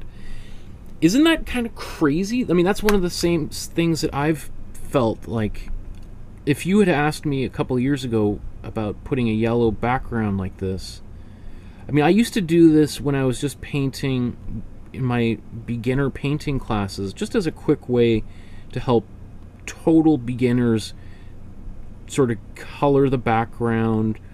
Um, and it worked pretty well. It was like, oh, okay, that it, it instantly creates an effect, and no one has to learn how to mix any colors to, in order to do it. And Sorry, I was just painting a little bit of the hair there. It was just driving me crazy. Speaking of the yellow. Um, and I was like, oh, okay, it works. But I mean, surely it won't work for every painting. I mean, this is just like a quick and dirty little technique just to kind of get a beginner painter off the ground. And then I started doing them in these episodes, and it was kind of like, whoa, it still works. Like, I mean, it's just a more uh, higher intensity color than a brown. So the, the chroma level is more intense, so it gives a bit more of a glowing effect. But we can kind of counteract it, or we can use it in every other situation on top of it. Yeah, it's it, it blows my mind as well, Carol. I appreciate you pointing, you reminding me though, because it's just sometimes color is this like we talked about it just the other day there's a magical quality to it that you some you're you can't you don't really know what it's going to do until you do it right you can sit there and armchair quarterback all you want be like nah i don't think those color combinations are going to work and then you do it and it's like whoa actually it does kind of work um okay so oops let's we want this view here. Side by side. Yeah, you could see, like, on its own, when I just look at this painting, it's like, wow, those are really cool blues. And then I look next to here where we have some really cool cyan, and you're like, oh, in comparison, all of this starts to look like ultramarine blue. And I think there's there I, we still have cool colors in the original. Don't get me wrong, but I think he's just very cleverly using all cool colors elsewhere around it to make what is, you know, maybe a, a lukewarm blue appear much, much colder. Because if this was surrounded by cold, cold colors, then this would look much warmer uh, than than he would have wanted it to be very, very smart guy, this fella, huh? Right? Okay. So, uh, let's, I'm to come back into the background. I just want to get that taken care of completely before I move on. Um, there is also little touches in the trees, but, um, so let's see. I'm, I'm to need a bit more cool yellow.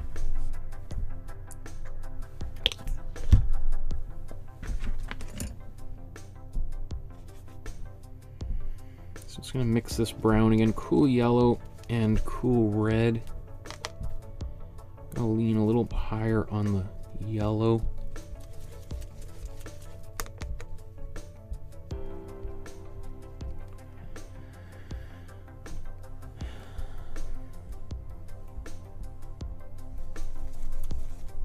Okay, let's take a bit of, so let's take some cool blue.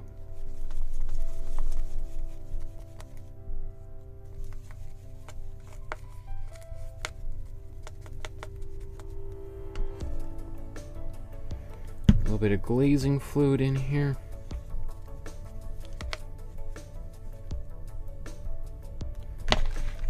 And we'll, in fact, I'm going to put a bit more just because if I want to blend this out, the glazing fluid is super helpful for that.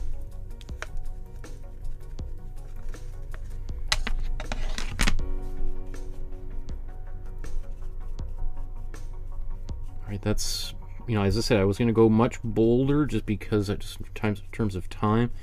If I was him, I would just be doing many layers of this and taking my time. And we would get maybe a little bit nicer level of I mean, even that is uh, drives me a little bit not quite as just a little bit. Anyway, let's just keep on going. Otherwise, I'll just be sitting here working on the background all afternoon.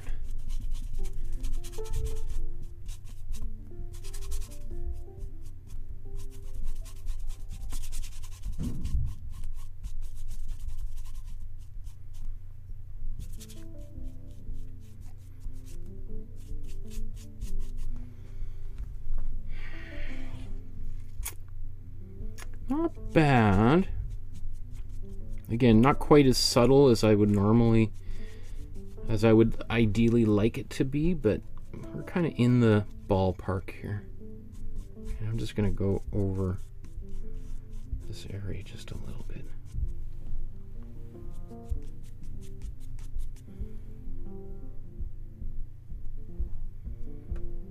Okay, now let's go down here. This is our other dark color.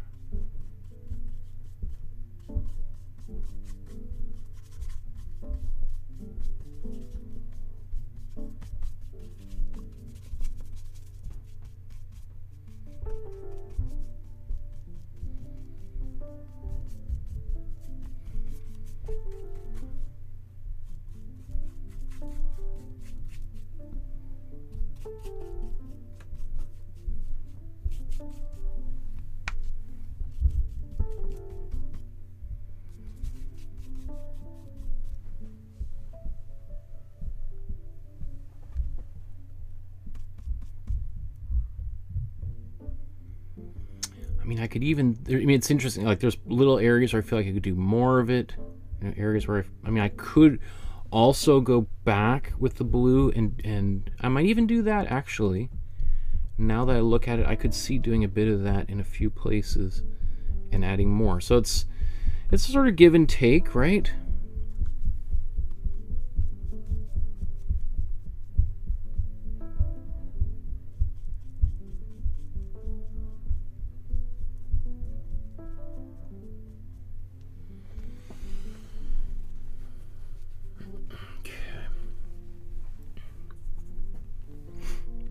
So.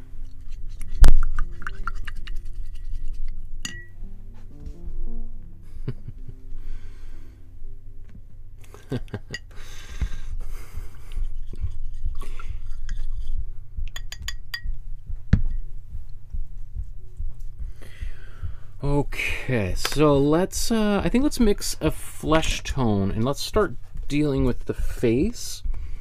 And then I think we'll, we'll deal I think basically what I'm going to do now is I'm just going to move on to to painting the the body, and if we want, if we have time at the end, I'll, I'll tackle the the background a little bit more. But I think for our purposes, probably probably mostly good, right? Okay, so let's mix a flesh tone here. So I'm going to take um, some warm yellow. I'm going to take some warm red. I'm to make an orange, even a little bit lighter.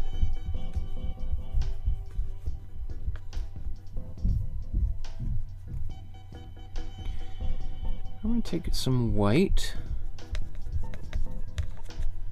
and a little bit of warm blue. Not too much, right?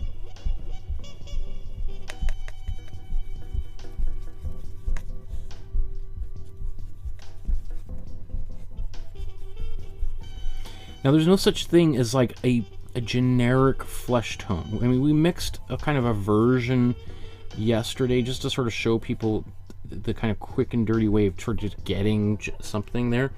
But every flesh tone is going to look a little bit different depending on how the light is hitting it, etc. So let's just zoom right on in. Go right to this face here. And just think about the color that we want here. So up top, usually there's sort of like three zones in a face. At the top here, we've got kind of, it's usually a little bit lighter. And then we got a bit more of a, you know, a slightly warmer where we've got all the kind of the, the blush on the face.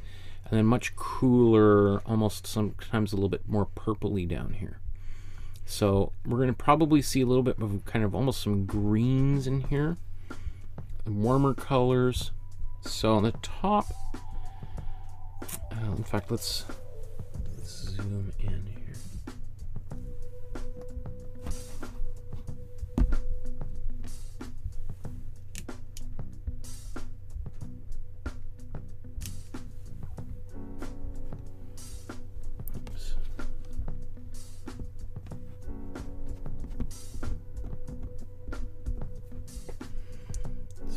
Go so far zoomed in because we can't zoom that far in with my camera.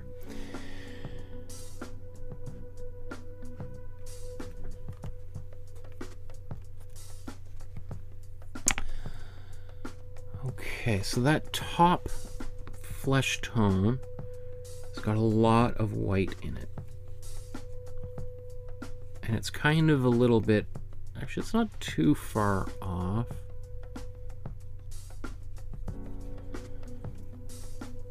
Instinct would be to add just a little bit of more blue.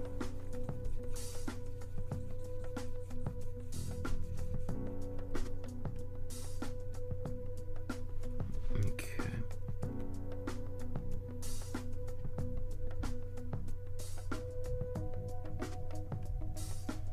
Now I'm going to paint the hair back over top of uh, this. In fact, I need to go to a much smaller brush. Trying to do okay. So let's uh, let's go to a much smaller brush here. So now what I want to do is I'm going to just kind of up this with a bit more uh, warm, kind of orangey qualities.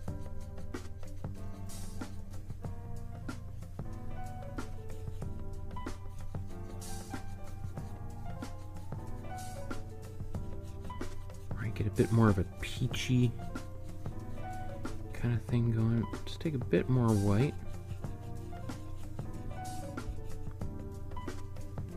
Now, I don't know, on camera that looks, I don't know, it looks to me a bit more orangey. This is much more kind of fleshy, pinky kind of thing going on here. So, but we'll see.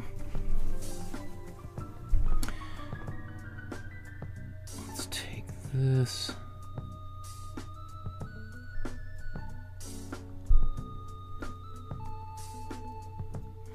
You know, I don't have a lot of room to maneuver in this painting. It's kind of a tiny little space, so...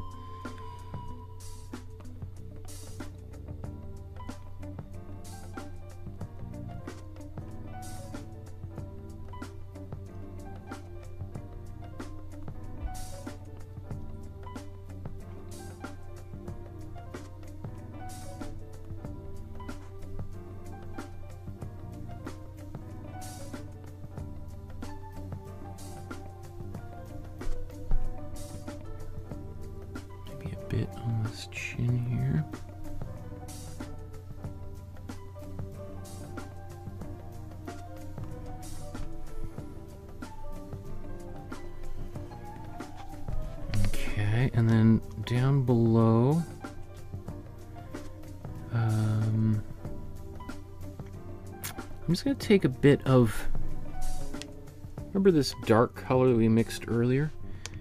I'm going to take that Oops, where am I here? So this is the dark color, the same dark color I used to do all of my lines there initially. Right, it's, it's basically my warm red, cool blue, and cool yellow. Right, so it's got, when I put a little bit less ye cool yellow in it, so that's why it's got a tiny bit of a purplish kind of quality. And I'm just to mix some of these colors in here.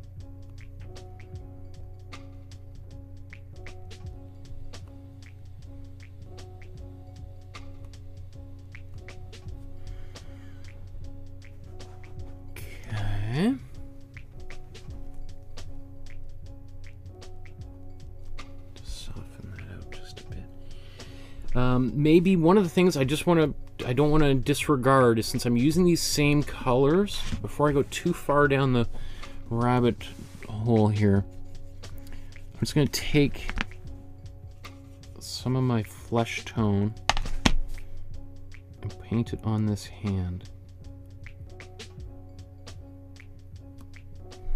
So that at least they're they're matching, right? So that we don't have one color for the face and then a whole other completely different color on another part of the human body. Right again, not sure how that looks. It looks a little yellow on camera. It's a little still a bit more pink, but okay.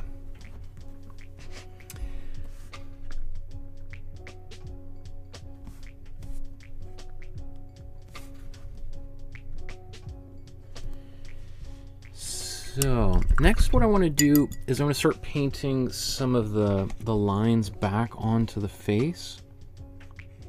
So here's was our, our dark color we made before. I'm just going to bring it back over to my, where my flesh tones are. Just because I want to kind of reintegrate it back into some of these colors. So because I, I don't want it to be totally an intense color all by itself. So I want to I want to build back up to that darker area. So I'm just mixing it in with a bit of um, this flesh tone. And I'm going to kind of just lightly paint some of these eyebrows.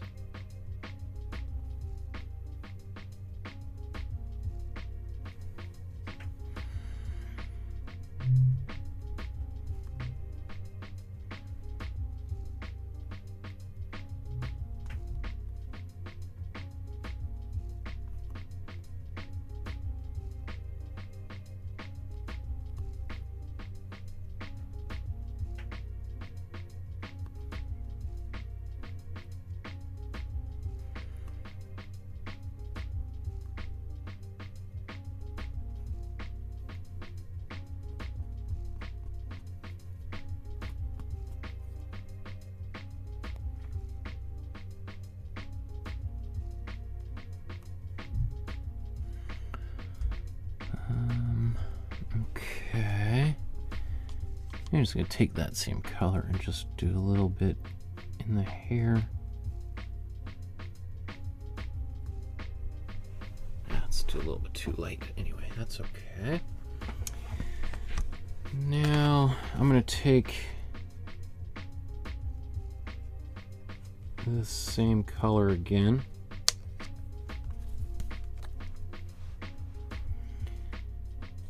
Use it a little bit more with, with less or, or, or no um, modification with any other color. So it's going to be much more intense. Right, keep in mind, like that's the size of my fingernail. This whole part of the painting is the size of a fingernail this face. So it's we don't have a lot of room to work on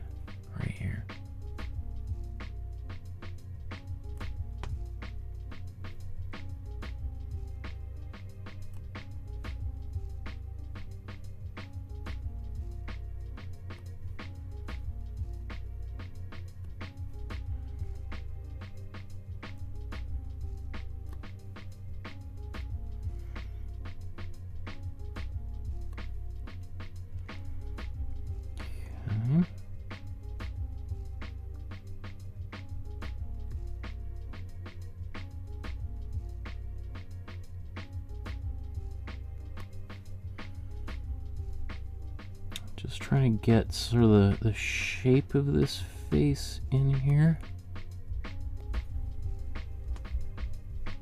Okay, now I want to take a bit of take a bit of um, warm red. Just mix it a bit back into my flesh tone. It's not pure, pure warm red. I'm going to take that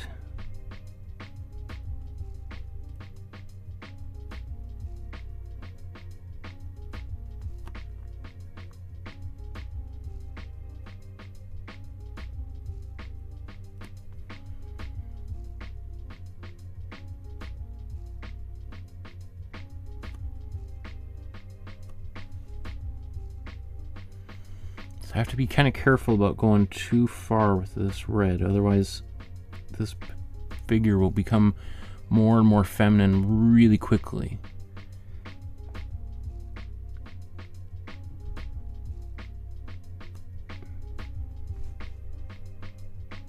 Okay.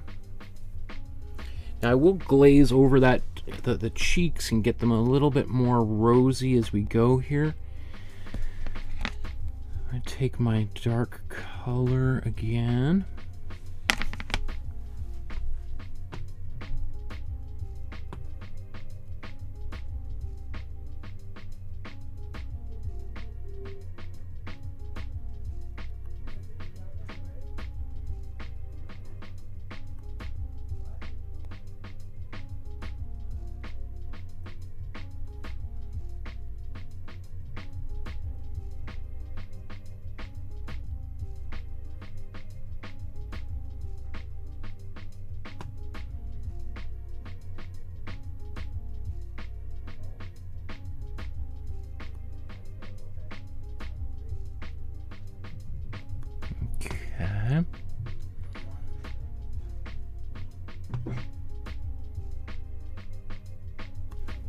Actually, I'm just going to dilute. So, again, I don't want to go too wild with this dark color, so I just want to mix it in with something just a little bit lighter. Let's get a bit more of slightly more pink.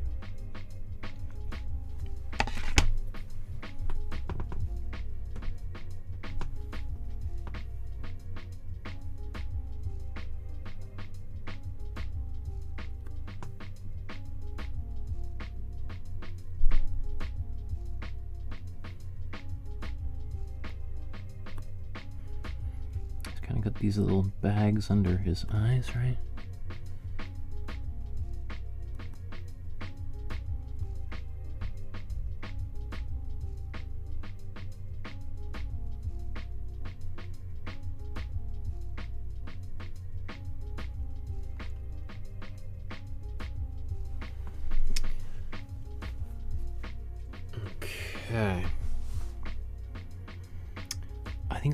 Leave that for right now. We'll, we'll or maybe should we get a little bit of the hair in, maybe?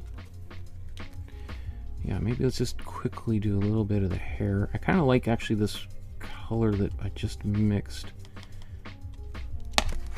So I'm to use that.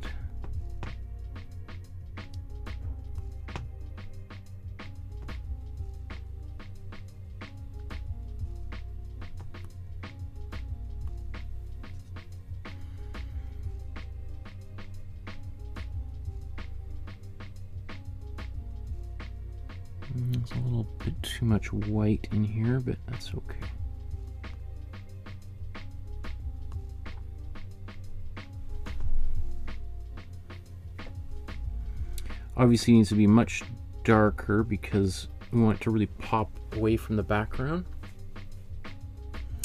But I think for at this exact moment, it's probably okay. So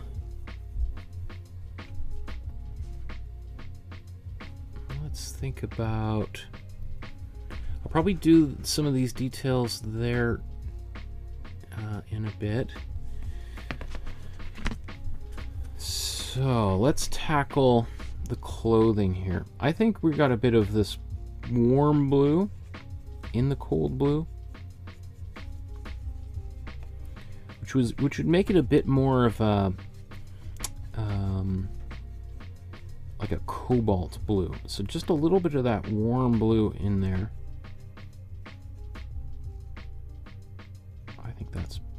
Good actually. So right still looks like just glowing um, cool color, but we've got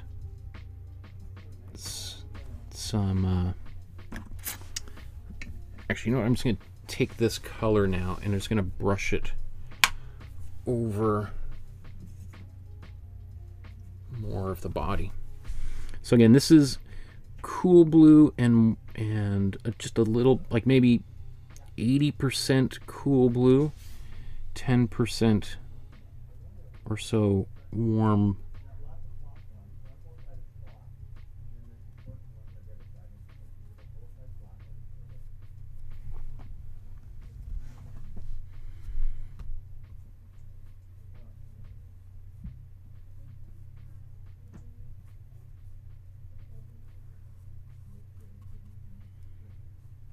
pretty aggressive with this. It's kind of obliterating some of the work I did earlier. Um,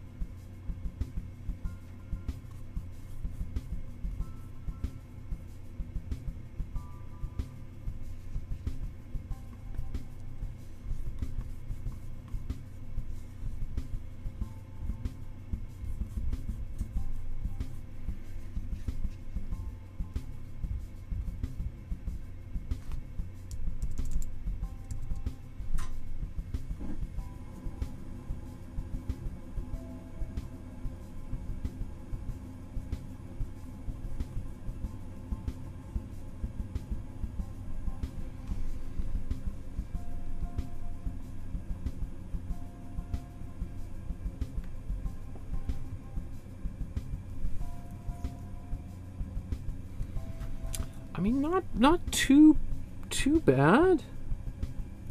At least for this stage.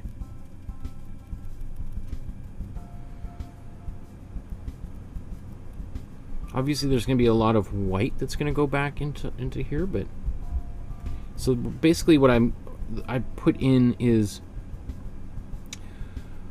not the darkest color, but what I'm always looking for is my what we call the local color right? The local color is, you know, again, if people were to say, oh, it's the blue boy, well, what is the, the, the dominant blue? Like, what blue actually is that?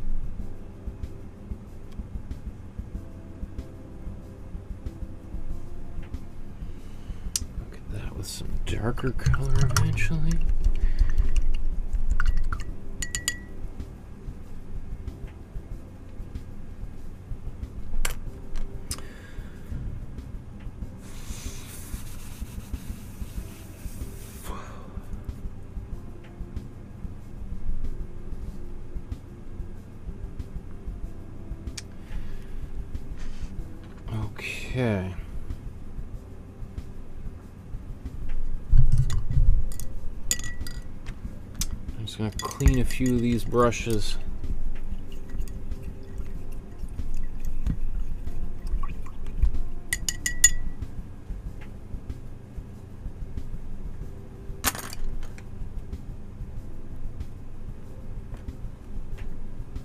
A little bit of water splattered on there.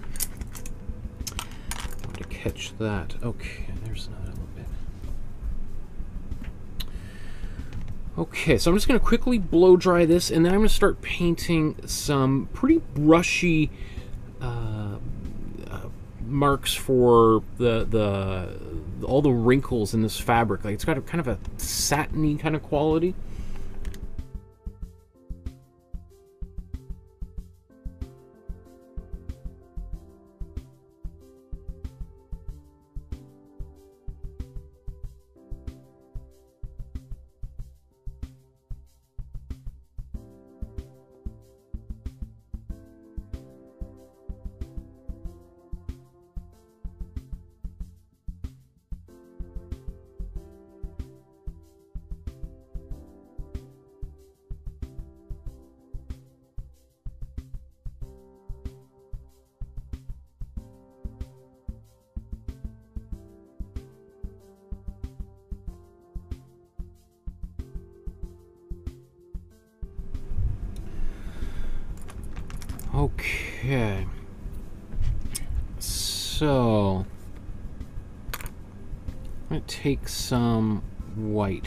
There's a little bit of yellow on there. That's okay. I don't need to be perfect white.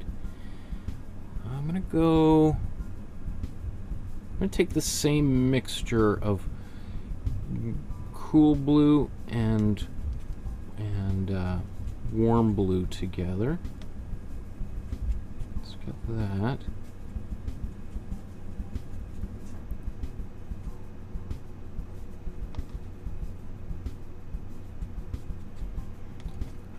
Going to put this here, and then I'm, as I go, I'm going to dip into it. So there's a lot of different ways to go about what we're about to do here. You know, if we were talking to Gainsborough's rival, Joshua Reynolds, he would say you do this in like dozens and dozens of layers and blend it out softly. I'm going to try to avoid using my blending brush and simply use different, almost kind of an impressionist way of approaching this, letting all of the brushstrokes stay. Now, the, the, the fewer steps you put in between white and blue, the more visible those brushstrokes are going to be, right? And if you're thinking of an impressionist, you you use fewer fewer steps, so those brushstrokes really stand out from one another. Gainsborough is, you know, 100 and 200 years before the impressionists, so he doesn't he's not quite there yet, but he's much you know, much more audacious with his brush uh, uh, technique than than really any of his other contemporaries, at least in England. Um, okay, so I'm going to add a bit of glazing fluid here. So let's zip back down.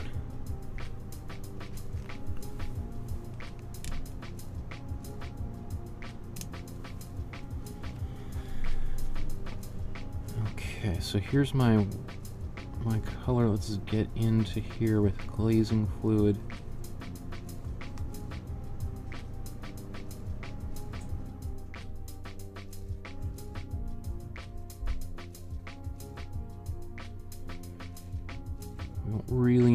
Exactly what we have until we start painting with it, and then we can we'll we'll take it from there when we get there, right? So let's just we'll just work our way from the top down.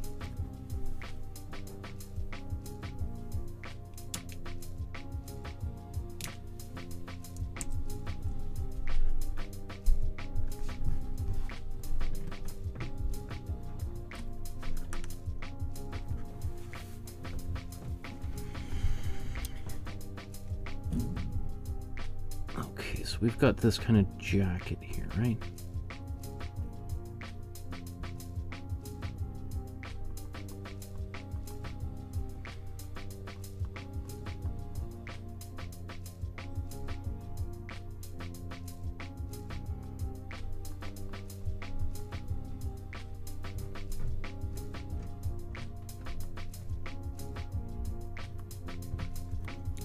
some of these ruffles or kind of dots. I think we'll, we'll paint this a little bit some white later on. Uh, just to get that started. If, you know, I I'm kind of tempted to, to brush that in.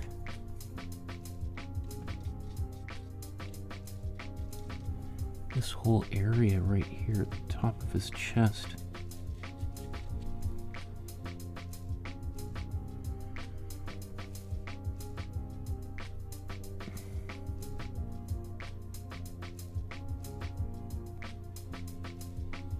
Think that's what I mean. I was going to go right into the smaller brush, but I think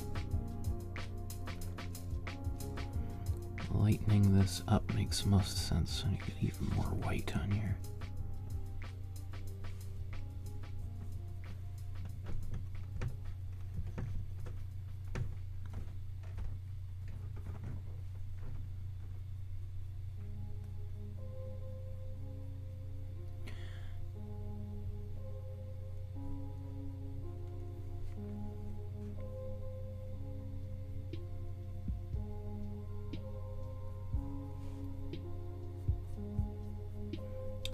Start with sort of these bigger shapes.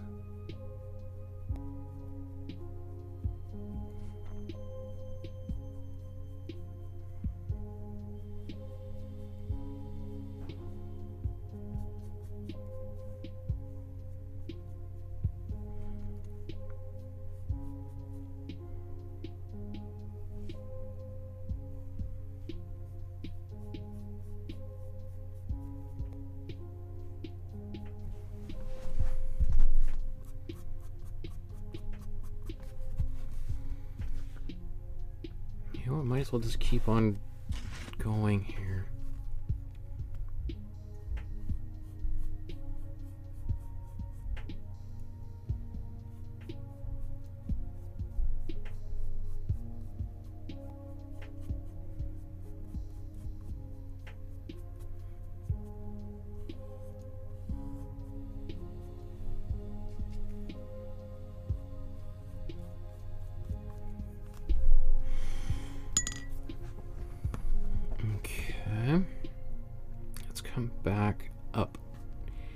think I might have to blow dry this because, you know, once you get a little bit of glazing fluid on there and then you try to paint over glazing fluid before it's dry, it's just like, it just actually sort of wipes away the work you've done. So we'll blow.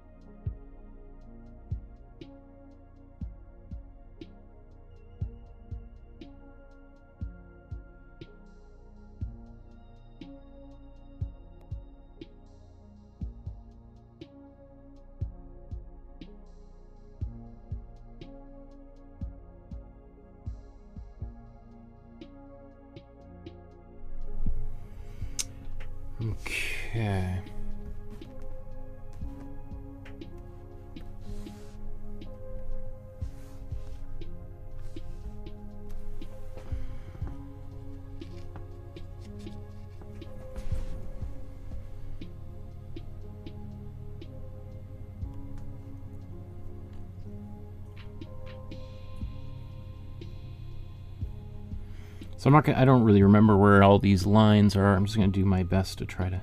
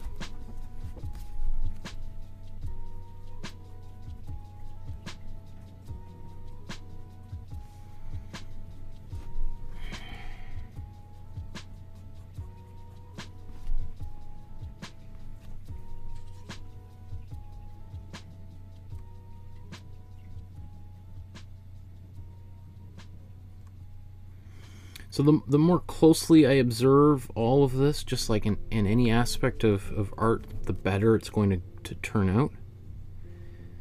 And because I'm racing, you know, it might not turn out as, as well as I, I might like, but we just have to kind of keep in mind that, you know, it's, we can do the best and you only can you can only achieve so much when you're going really really quickly. And also we don't have our really our darkest colors in here yet either right? So once we get a little bit more contrast in here I think that will help a lot as well. So I just have have to keep on having faith. Let's move down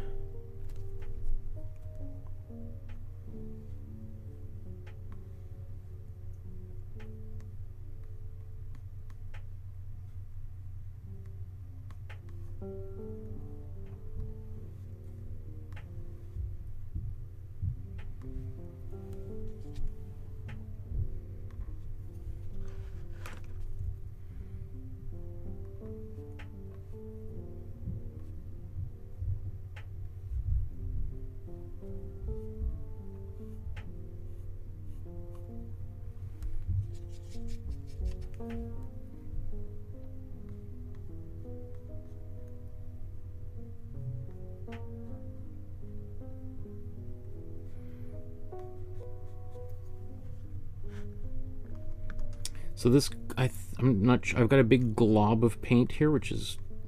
Um, I'm not exactly sure if this is white or glazing fluid, so we'll find out.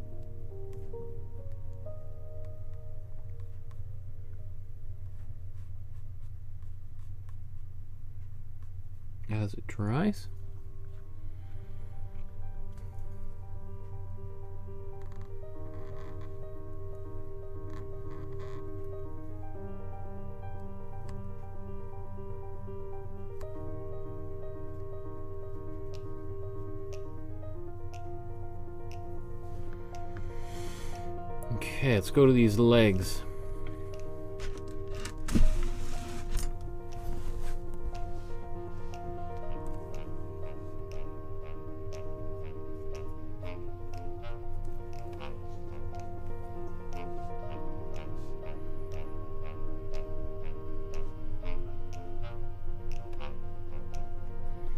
So going to use the same color.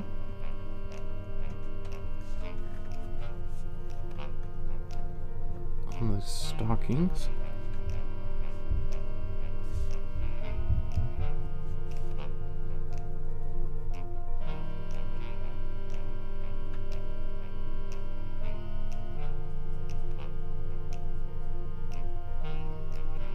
Looks like these are supposed to be a little bit more brown up there, so let's raise this up a bit higher, and we'll come back and do that later. This is all in shadow, but I still want to have something here that I can darken.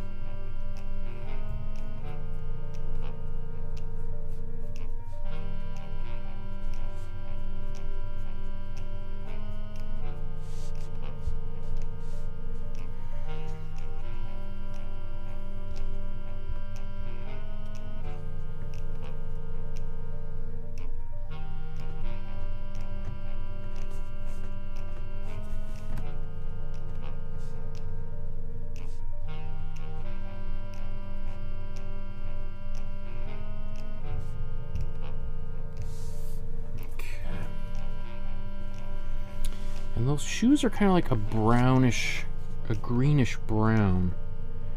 So I'm actually going to take this, where's my yellow?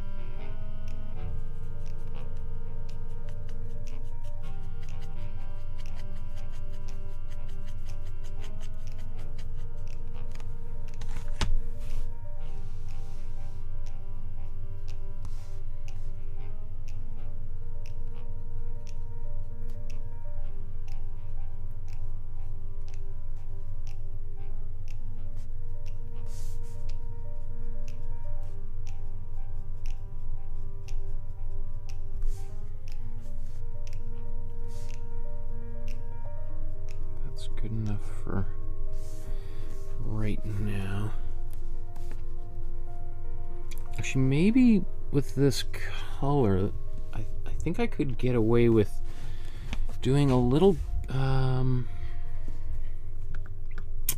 just looking a little bit into this area around here. You know, just, just all this little grassy lines.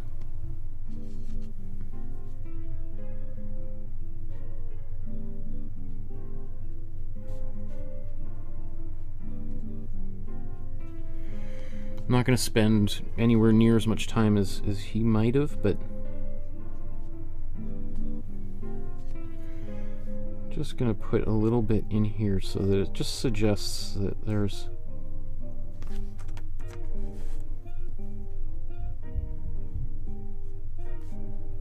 some textures down under here.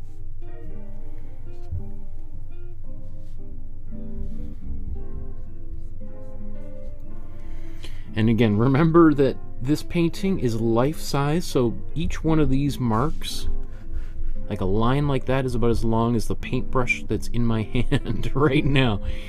Alright, so just, if you're painting along with me and you're doing this, you're like, wow, look at all these details. How am I going to... You don't have to get them all in there, right? We're talking about some very tiny details, or big details for him, tiny details for us. Uh, let's just um, hint at this rock right here. Actually, there's a bit of it's kind of a purple that he's painting, but uh, it won't hurt to oops, just describe.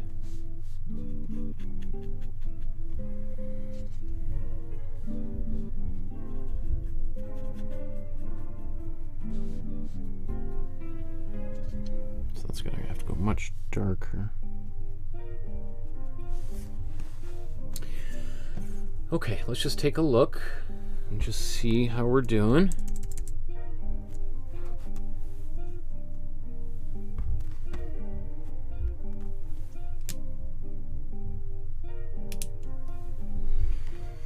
So uh, pretty much everything needs to go darker except potentially the sky. You know, and it's like I said, you know, sometimes it's good just to let things kind of sit and breathe because now now that I've got my the the blue boy himself starting to kind of appear in the center this area in the sky that I was not too happy with it now kind of it's it's within the ballpark for sure.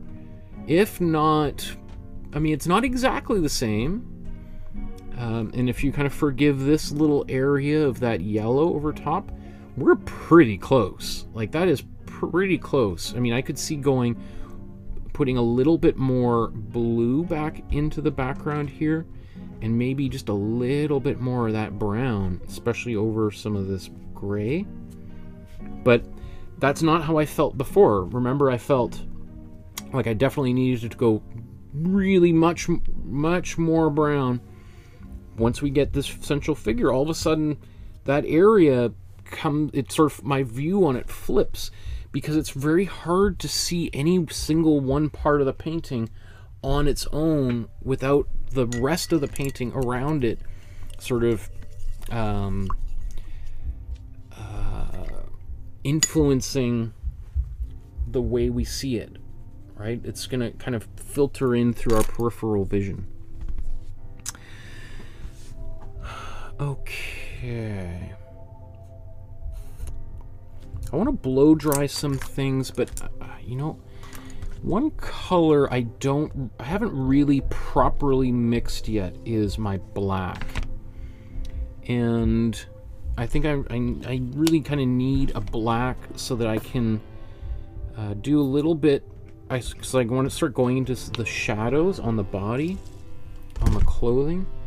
So to do that, we're going to, I think I've got enough. We'll see. So I'm going to take my warm red and my cool blue, and we're going to mix this together. Just going to mix all that cool blue together.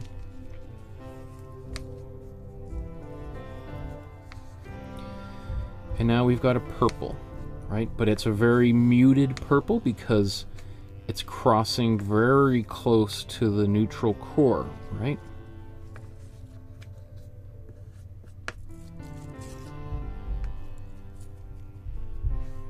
Add my cool yellow in there.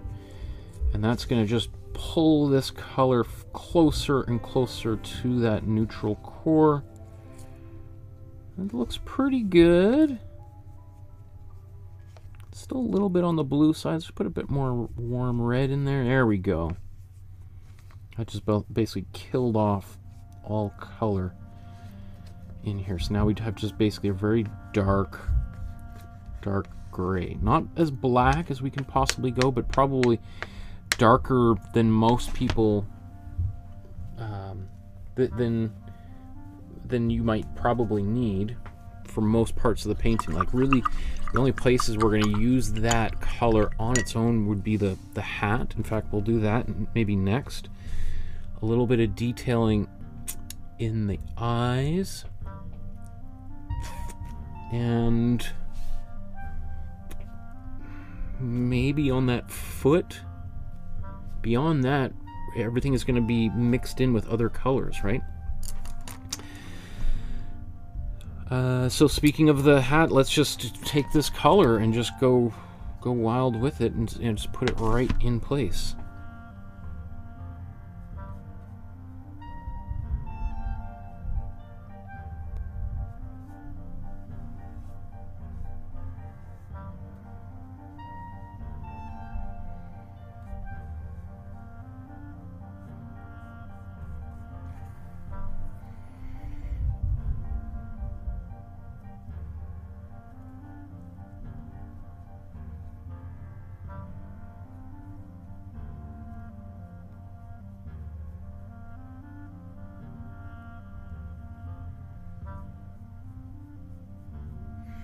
Right, so still a little bit of level of transparency to it, which is totally fine and expected because, you know, I I don't want it to be super opaque until I'm done because I might want the, even the interior of that hat to get even darker. Uh, oh yeah, the, another reason why I wanted to mix this color is I want to take uh, a moment to, to sort of do a little bit of branches back here. And maybe, you know, I probably could have, could have, should have diluted this a little bit. So I'm actually just going to go back here. Take a bit of the white and turn this into a gray. a very dark gray. Otherwise, it's going to be, those lines in the background are going to be like, whoa, that's a little, we don't want to pull too much attention. Yeah, just a little bit lighter.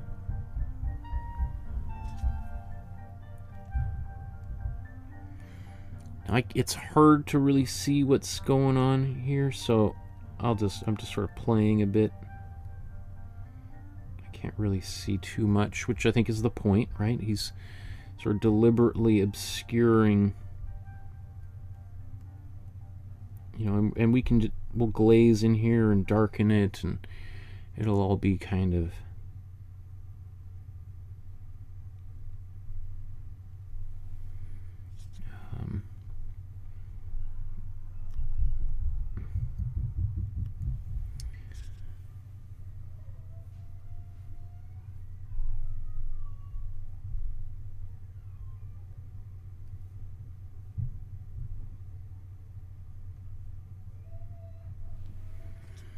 I think I hear our neighbors outside running around and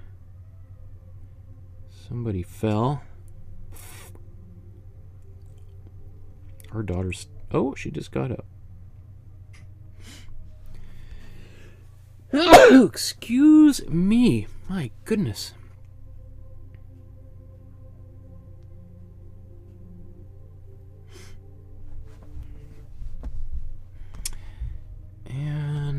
Not sure I can fully grasp what's happening in these shadows, so I'm just going to take a bit more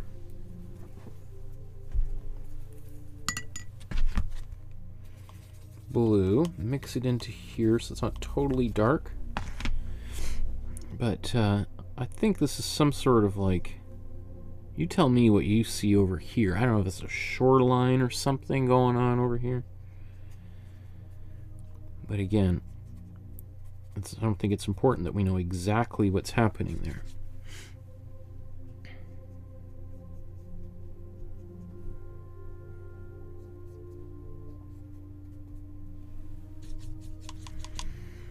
And then I'm just going to take also the same blue that I just used here and just kind of go...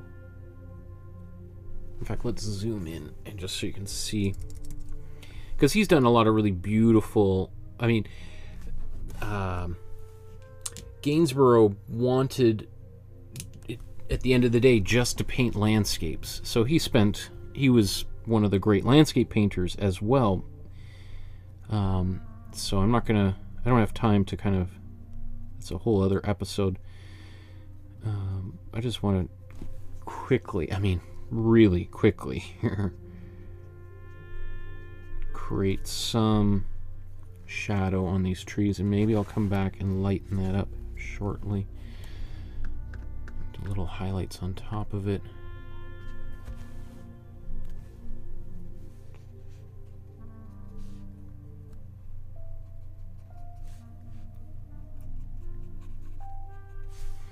These are intended to be kind of like the shadowy parts underneath the main body, the foliage of these trees.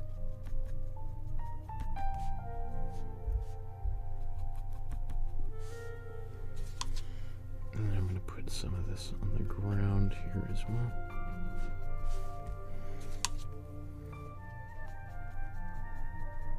Not going to spend much time at all on that.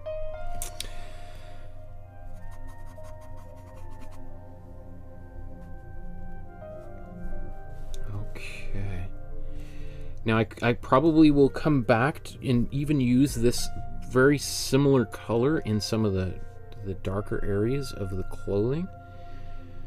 Um, but I won't go there quite just yet. Let's take, again, we have a little bit of this warm blue. Yeah, let's just do it right down here. So take this warm blue, cool blue. We have the same mixture here. And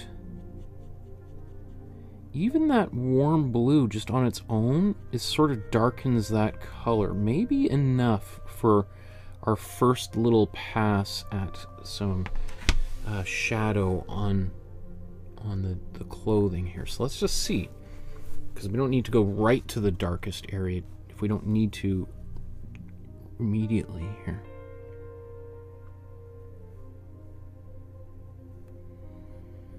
Hmm.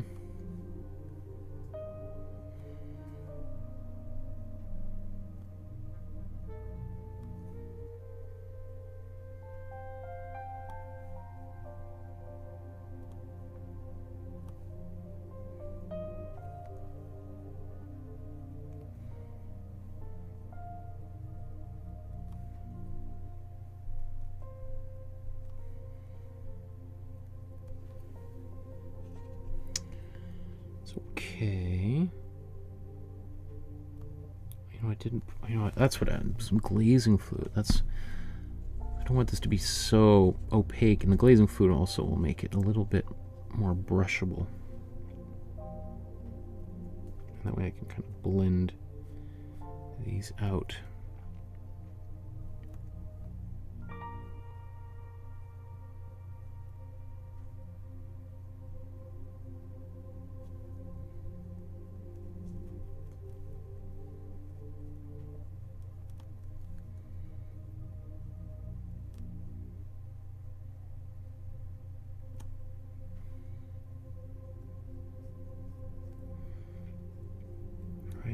Sort of go over the lines just a little bit, right? This is sort of my transitional color.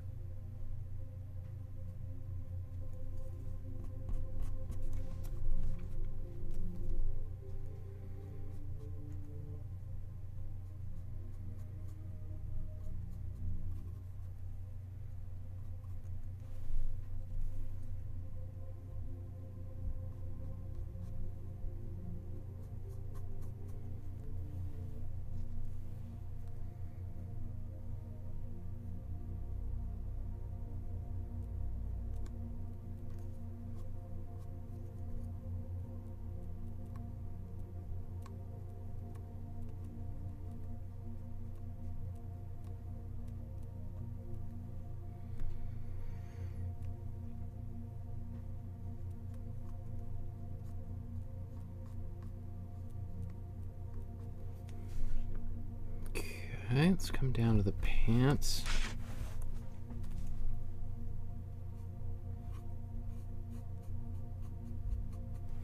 So the next layer, I think we'll see a little bit more um, more of a change.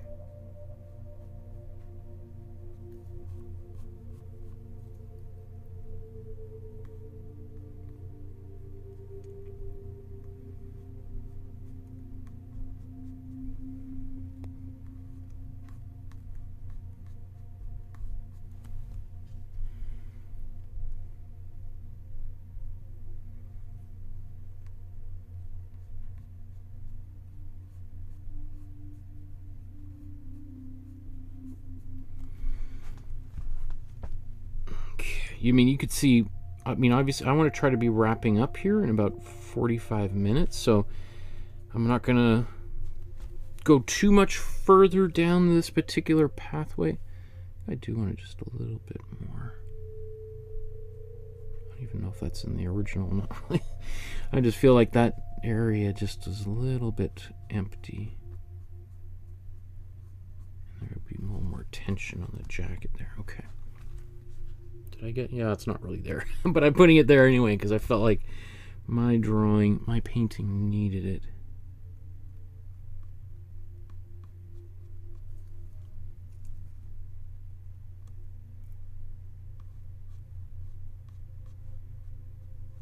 And then just, I'm just coming back in a little bit of the light because it's, I can kind of do a little bit of, of wet on wet painting here while I've got that glazing fluid on there so I'm just taking advantage of that.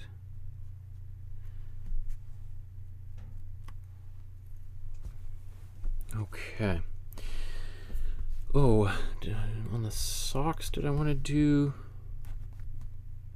mm, I think the socks we're going to use a different color rather than just blue. I think that's kind of blue enough for these socks Okay, so let's go to the next level here. Let's take this same color, glazing fluid, and now I'm going to take my dark color and start kind of mixing it into here where we start getting a bit more of a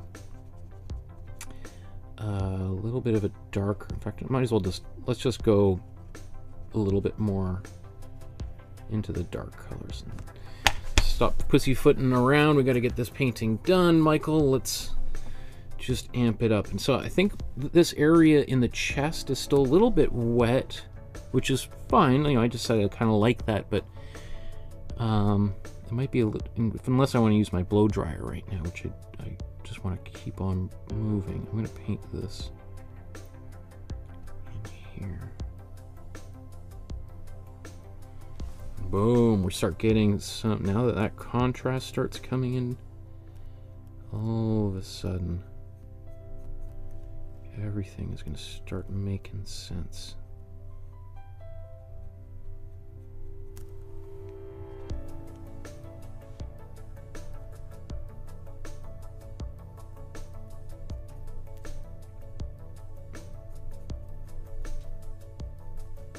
Wow, that makes huge difference. And we'll, I'll pull out in a, in a second here so we can see how it starts affecting the full body. But uh,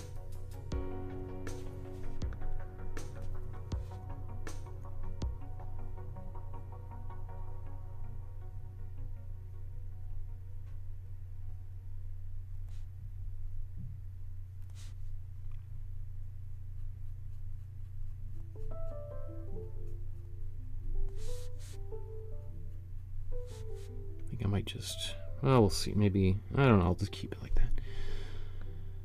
Let's do the other leg.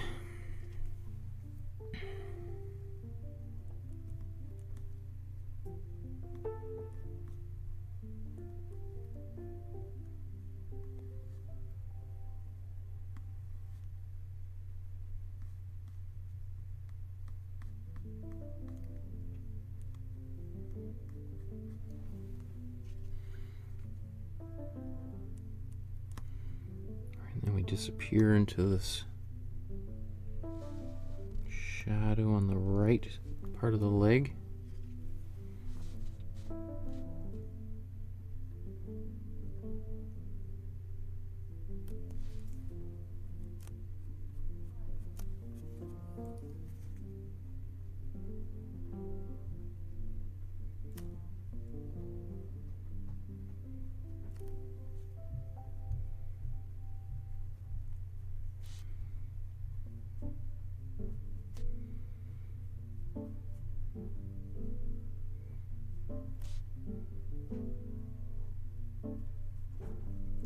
going to make, well, now that I'm painting over it, but I don't know how I want to deal with this just in terms of my time. These, th This is like, I think the top of his socks or a ribbon that's tied around the, the pant legs. I'm not exactly sure. I've never quite worn pants like this before or outfit like that.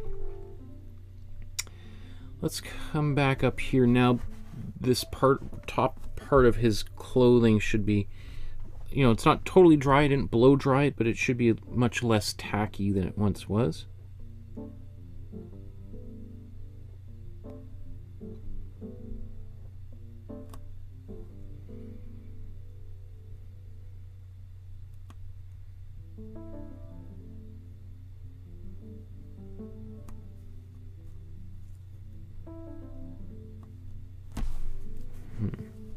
It's still pretty tacky. My fingers are kind of sticking to it a bit.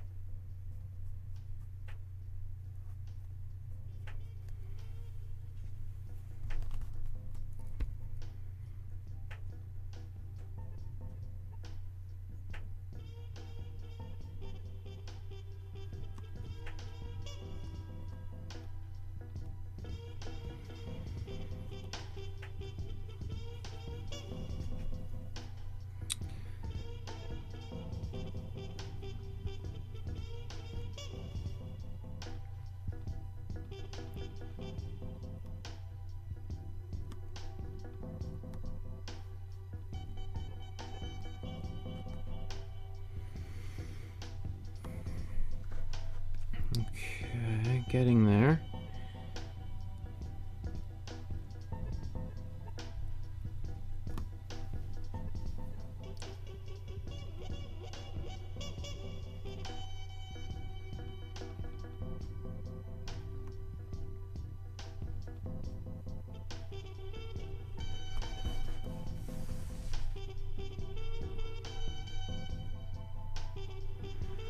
Again, my instinct is to really want to kind of soften up some of these edges, but when I think of of Gainsborough, it, we want to keep the the um,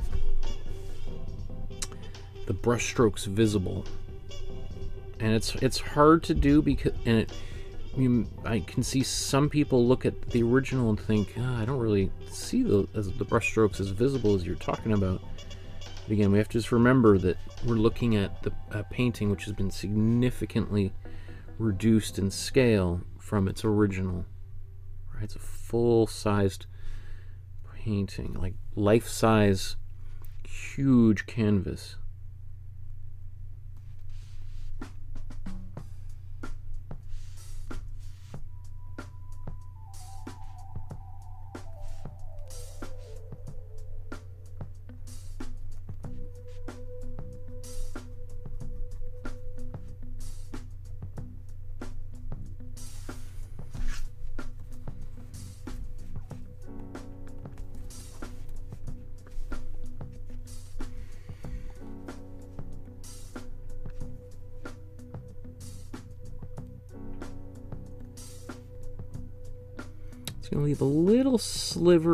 Light under in, in here a bit. Because even though it's going to get really dark down here, I don't want to get too dark.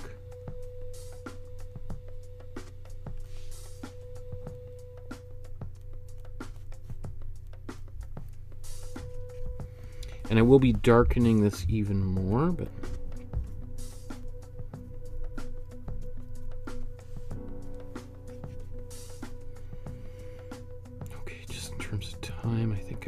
leave that there like that.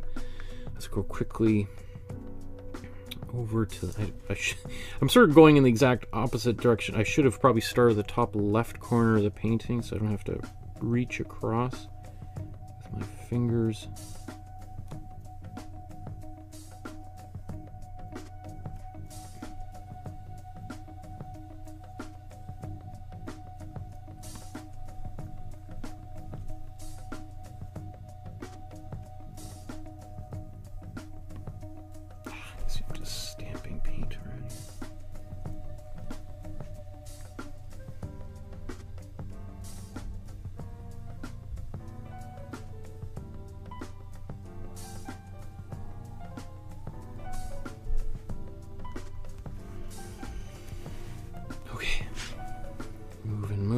Keep this train moving. Let's do these shoes.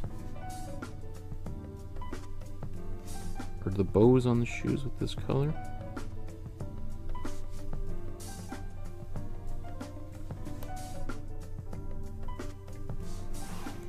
Okay, so let's just zoom back out.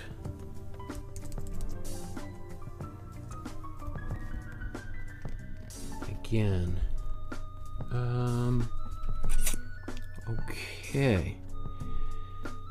Getting there.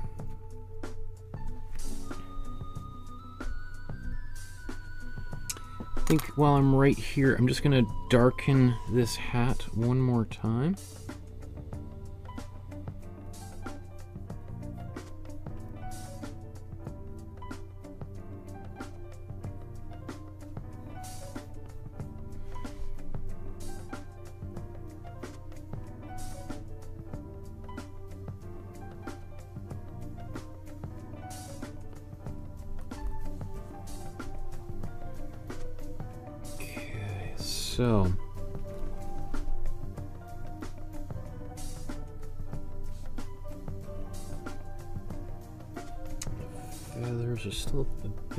To do. Kind of a light brown glaze on a few things.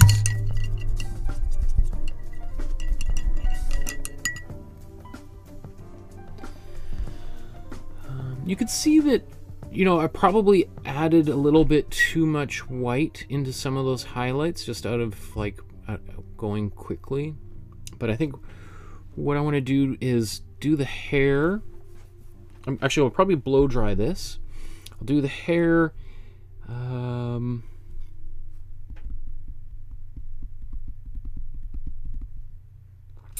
well, I've got that brown. I might actually do a little bit of work down under here, actually with a little bit of blue glaze down in here on the feet. So there's still a little bit of work to do here, folks.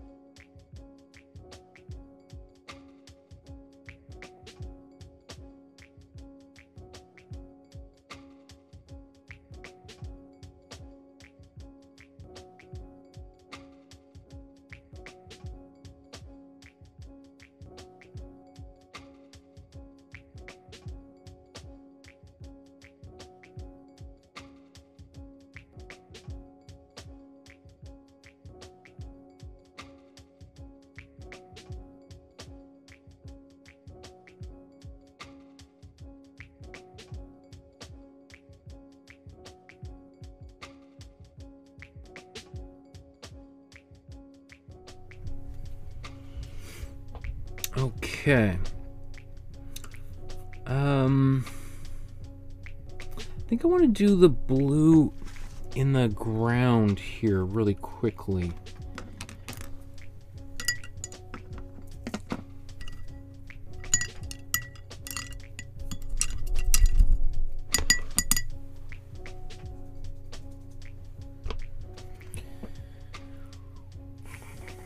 I'm going to take, so I'm going to use this um, cool yellow and cool blue.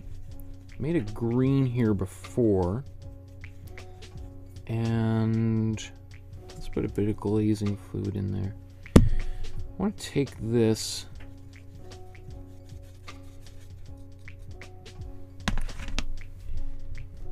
and come into the this area right around the feet.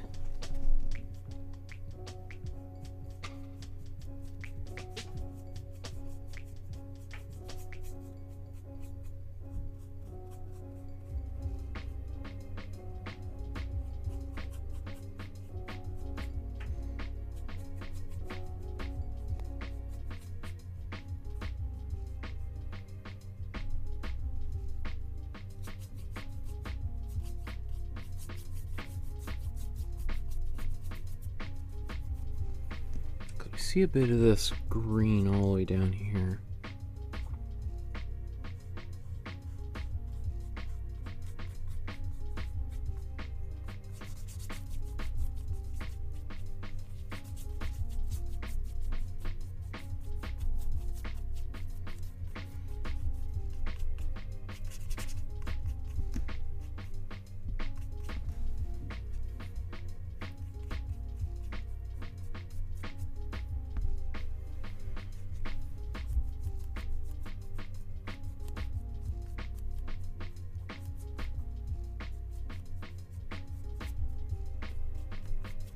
Mean, I love doing th little things like that because it, it definitely it it's something that when before I knew how to glaze, I would just try to mix a color like this, and it's like what? How like I would try to mix all of these layers of paint into one color, and it would just be like mind-numbingly frustrating because you could never quite get it right.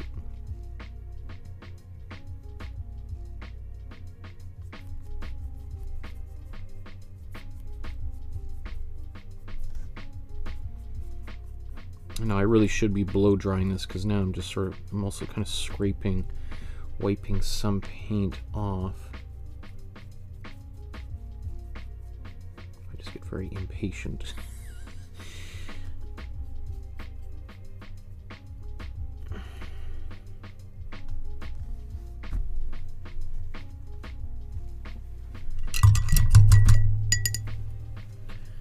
And I think while I'm right here, I want to take blue with some darker color. So we just want to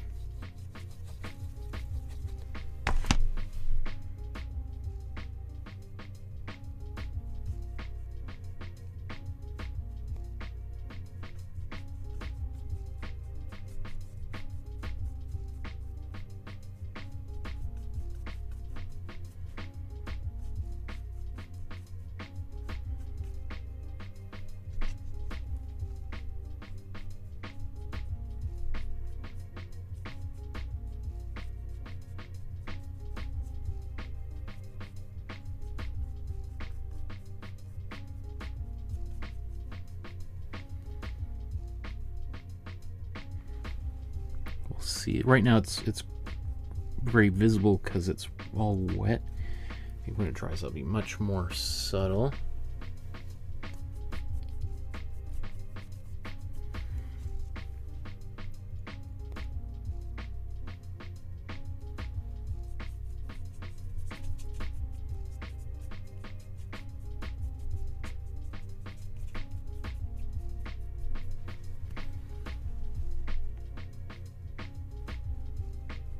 So we'll see.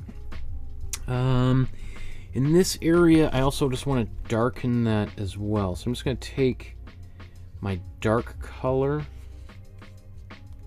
and my my brown. So now that's a very dark color, but I'm going to glaze with it so it doesn't get too like I just want to paint over everything, but I'm just going to use this to continue darkening in this area behind the boy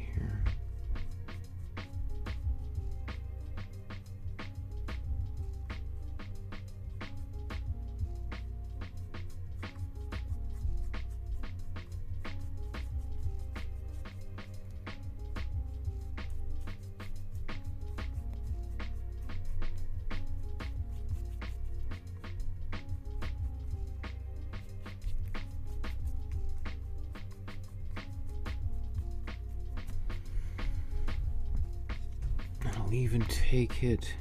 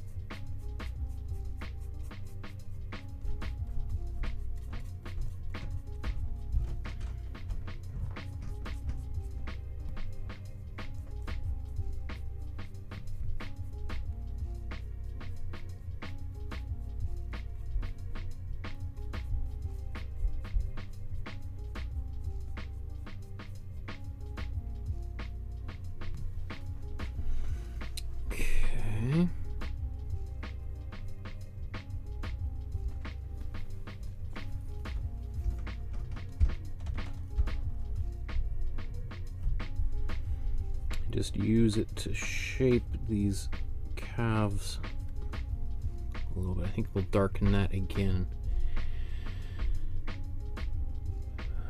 Okay. Uh, I think I'm going to use that same color that I've just done a whole bunch of this with on the clothing and significantly darken that. In fact, maybe I'll do that right now before I blow dry. So I'm going to take this color, make sure I have a fairly significant amount of glazing fluid on my brush. Glazing fluid dominant. Oops, I got a bit of red on there. Can I live with that? I think I can. Let's uh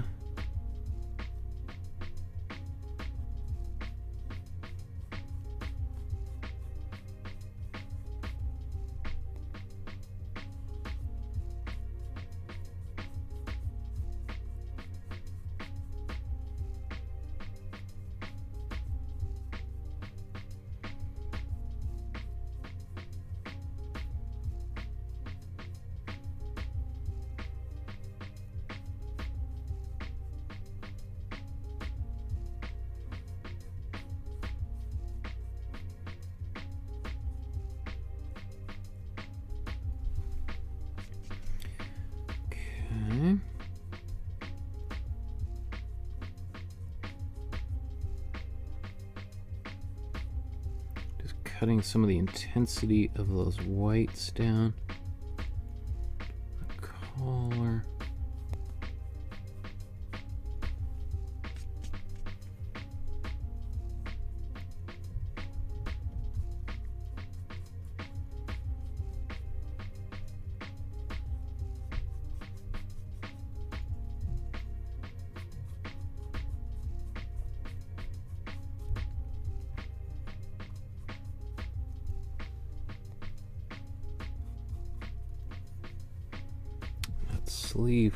White. I should whiten that up a bit. But you can see how it's all of a sudden, you know, putting a little bit of this around just starts having quite the effect, right? Um, even on the face, I think. Let's do that, and then I'm going to blow dry it.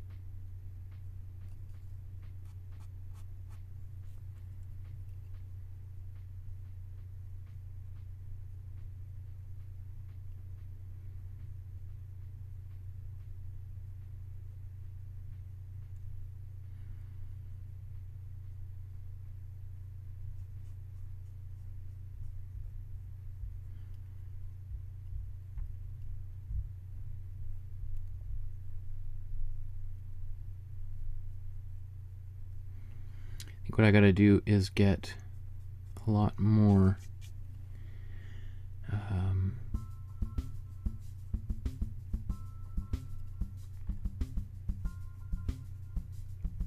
put a little blush on the cheeks there before I go too much darker. Maybe though, uh, before I blow dry, I'm just gonna take the my dark color, not my, the full intensity of it, but pretty, you know, it's diluted a little bit.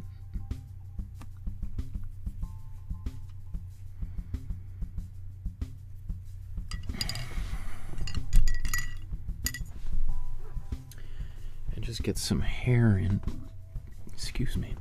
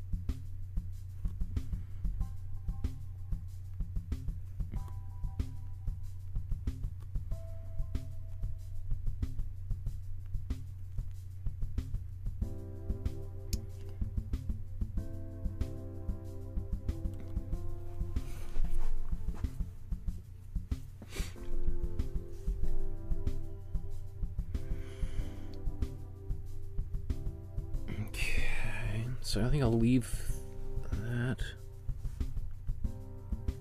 alone for a moment.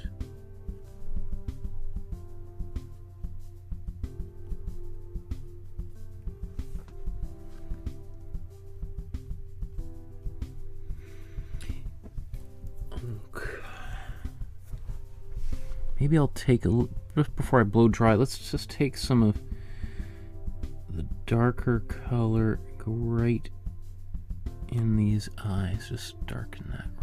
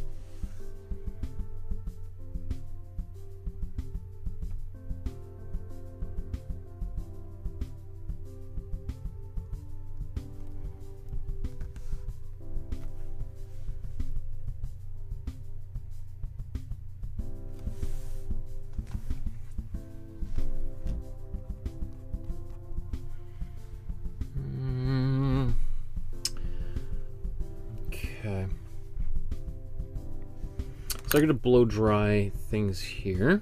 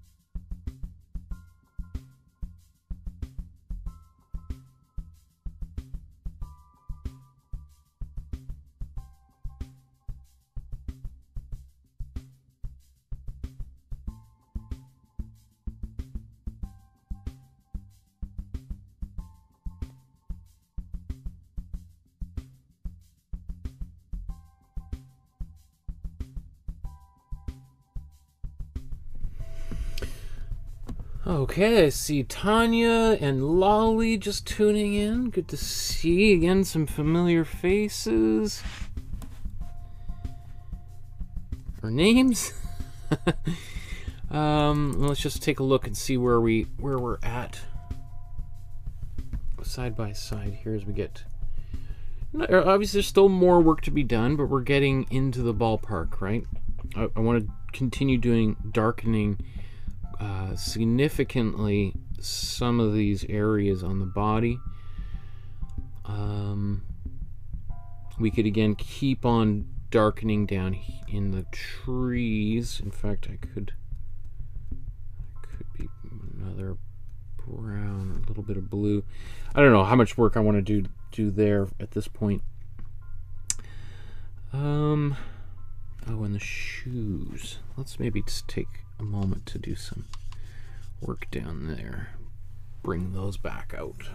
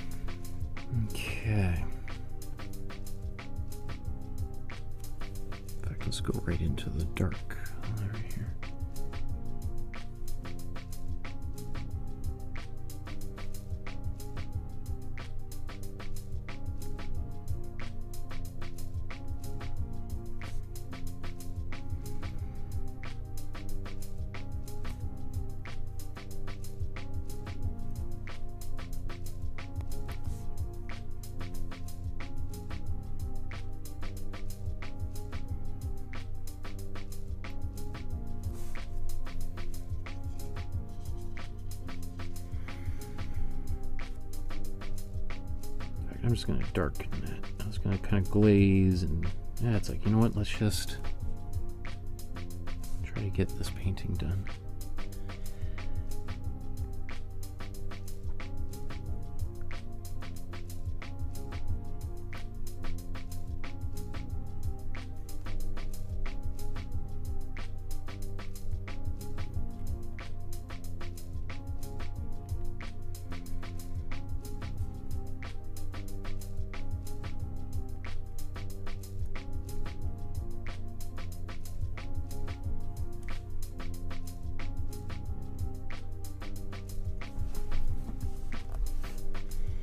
Put a bit of a highlight on that toe, otherwise it's going to look quite flat. Actually, little bits of highlights on both of those feet.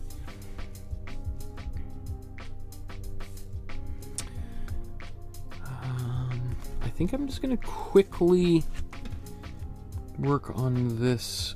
Uh, I'm going to take a bit of. Uh, I'm going to take mix this a, a cool blue and cool red, make a bit of a purple.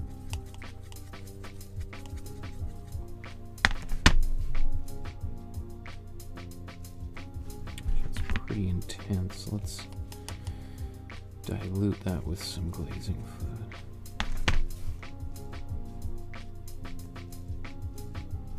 Some of these rocks right here.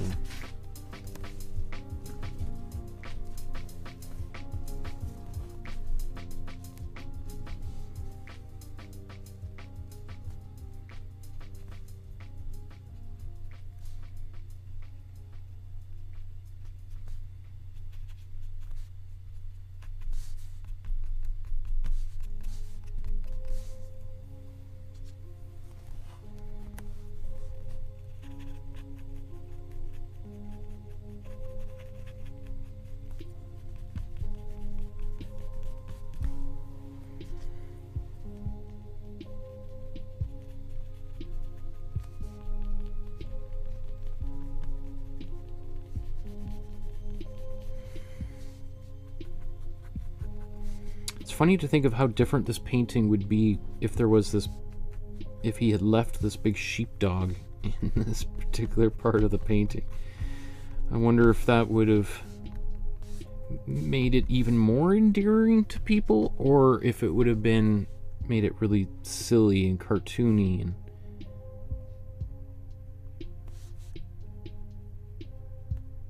I mean, I think that's why he took it out, is he felt it was. I, I, I remember reading a quote somewhere about that, where he just felt it was like a, you know, just a little much. Like, it was like, oh yeah, it's kind of silly.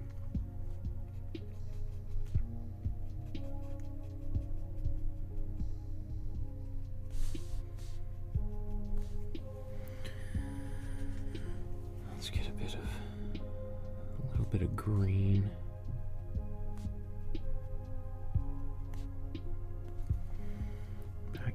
Where's my cool yellow?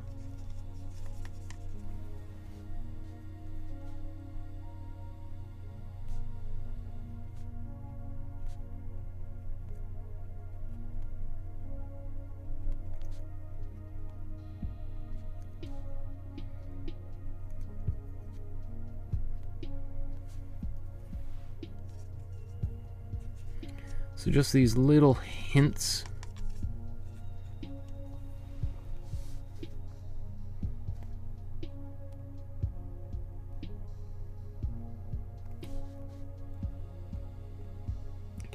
Want to spend too much time down here, but I just there's a lot of there's a lot of space beyond the figure, right? And I don't want to just have you know a figure floating in space. I want to kind of just be able to articulate a little bit of what's going on around him. Oops, that's a big.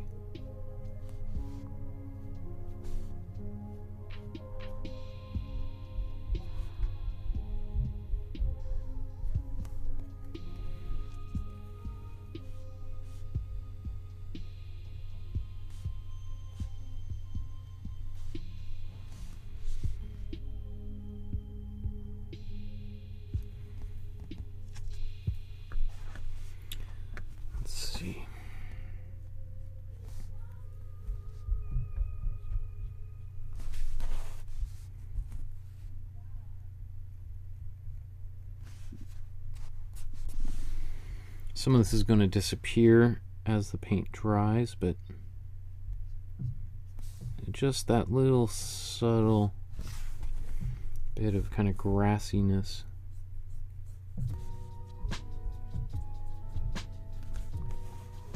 is helpful. Do we want to put any? I think there's. Let's. I want to put a tiny bit of a highlight with this kind of green back into these trees here.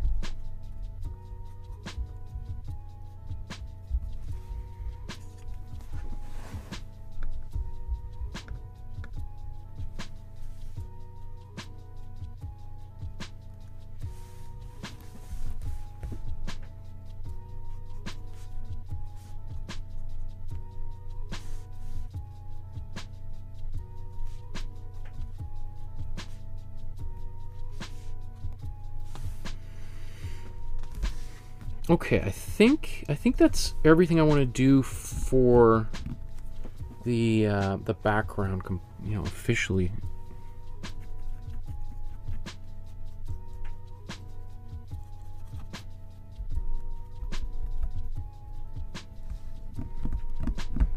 Sorry, I'm just there's a this somehow I think I don't know where is that. Come on, get on camera. Where are you going? How many brushes I gotta push out of the way to get there? It's just a little bit of paint, of something either it's stuck to my finger, it's stuck on here, or I pulled this off at one point. So I just want to.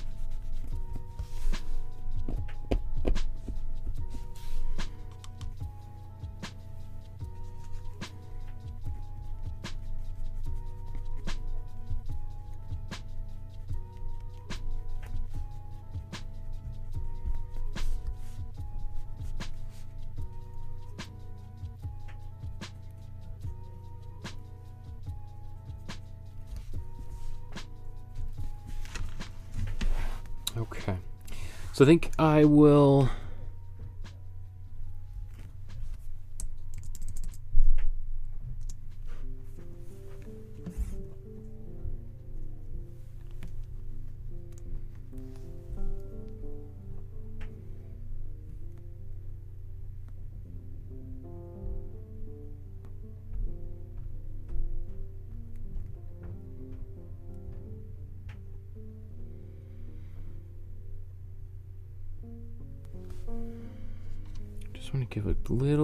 Definition.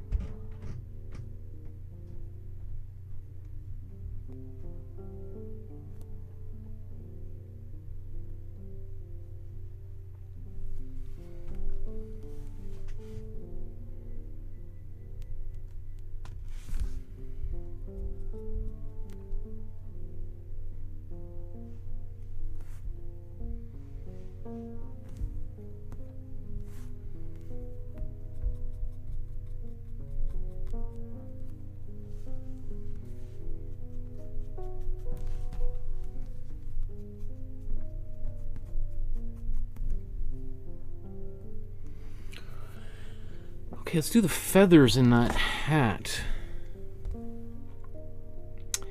Feathers are kind of like a brown, very light brown. In fact, I'm just I'm just going to take glazing fluid, a little bit of brown. see how much we can get away with. Maybe I'll just lighten that. Yeah, let's get a little bit of a lighter brown.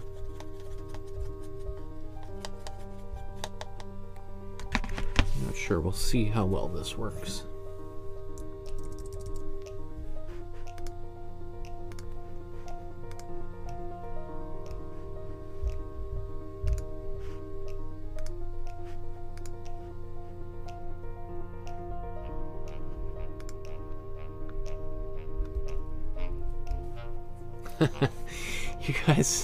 Well, he says, uh, um, enjoying watching this process. It's my relaxation therapy. Tanya says, I a thousand percent agree with you. I appreciate that, guys. Uh, that's pretty funny. Okay, so we're gonna look at this feather. So.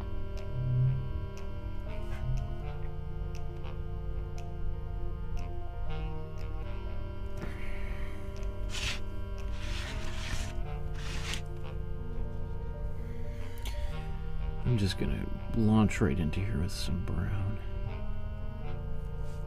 Oops.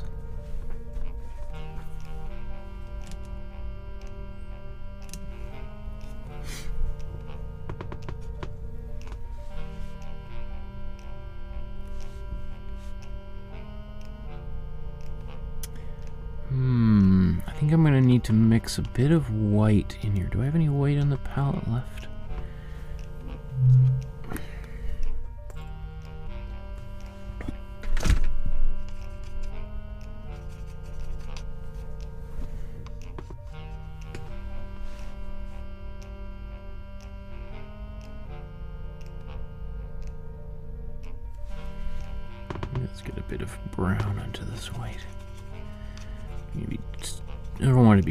Perfect, like bright, bright, bright white. That's a little intense.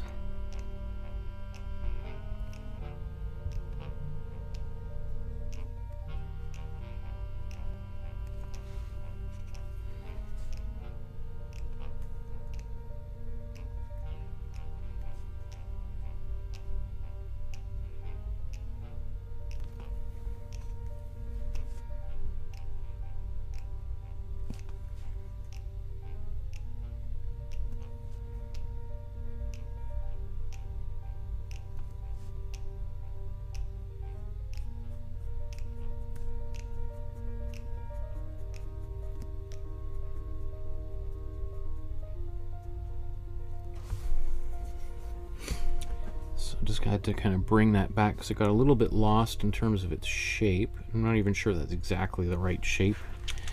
While I'm right here, I'm just gonna, I want to take a bit of this white and put it, oops, make a little bit of a gray. so that it's not clear in his painting, but it looks to me like there's, you know, we have, let's, oops, I'm gonna have to come and fix that, but we've got kind of like the top part of a hat.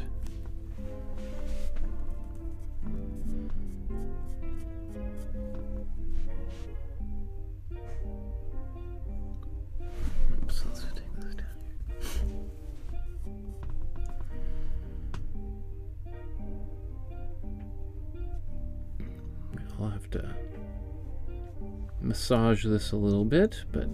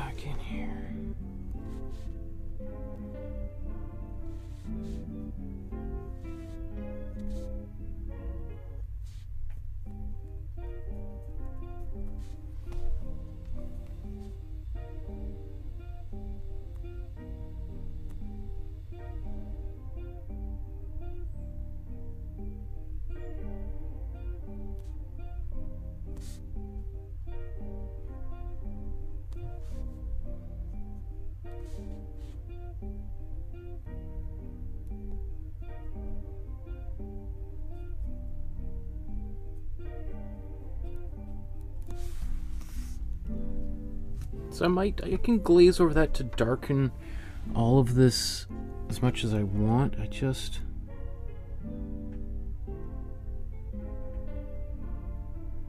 I'm always, I'm always sort of err on the side of a little bit of clarity, if possible. You know, I think that's part of the job as a painter is to, I think, is to try to avoid as much kind of confusion as possible. Unless you're doing it deliberately for various different kinds of reasons, right? I just want somebody to look at. I was like, what is that in his hand? Is that a textbook or oh, it's a hat? Oh, see, I didn't under. See, that's I don't want that kind of reaction.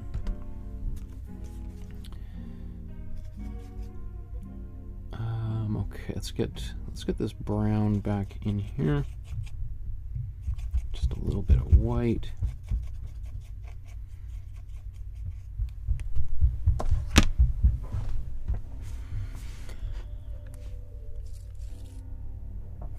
uh, is that dry enough? Marauder six six seven says you should use a feather brush to paint the paint the feather.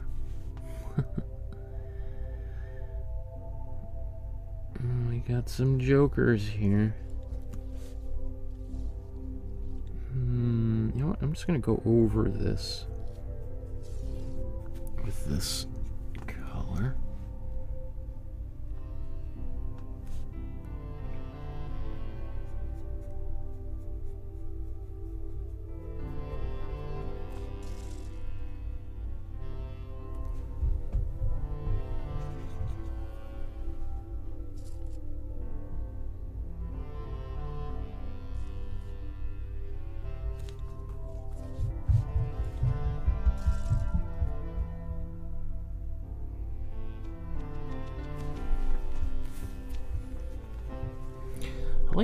Color actually, and it makes me want to add a bit of it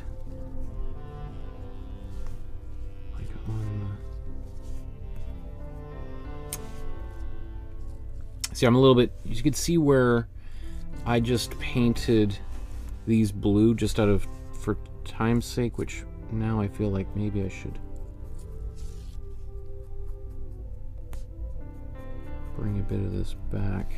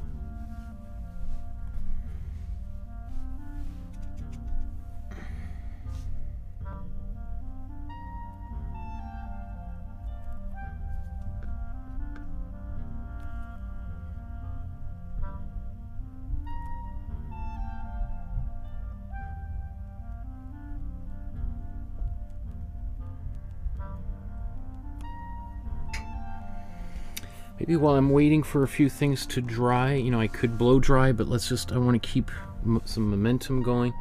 I'm going to come back up to the top and maybe just do a little bit of detailing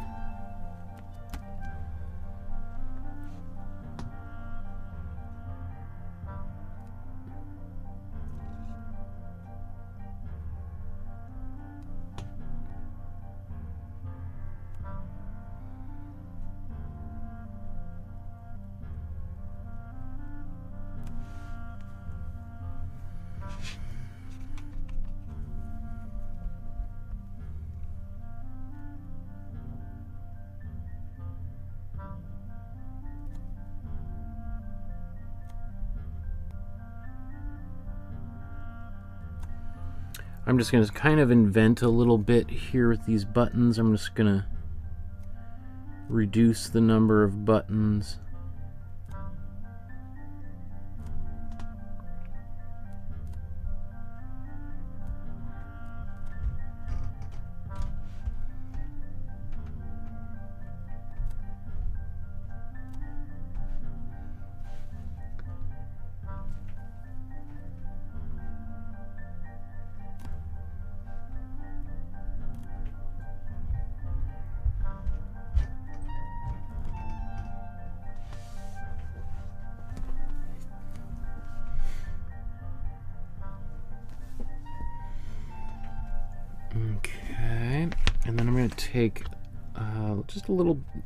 This a little bit.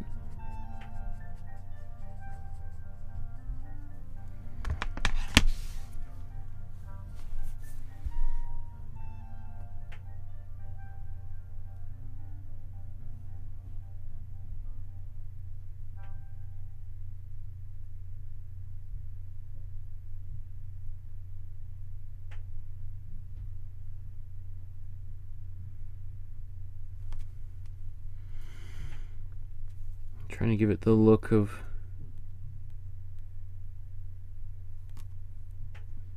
the fabric and kind of rippling and wrinkling a little bit.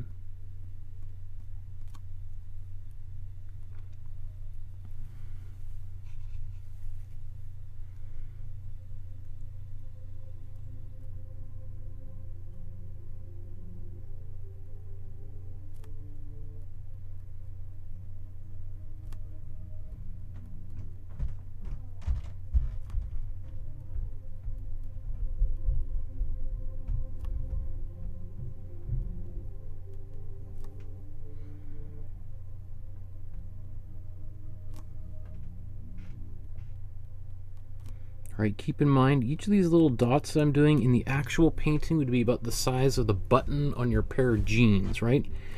This painting is this is life size in its original state.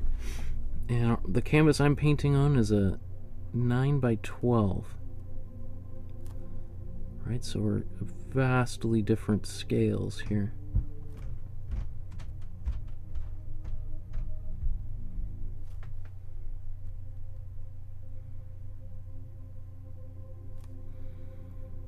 So I'm just trying to avoid doing a, a straight line as I come down. I'm not even really, I haven't looked at the original.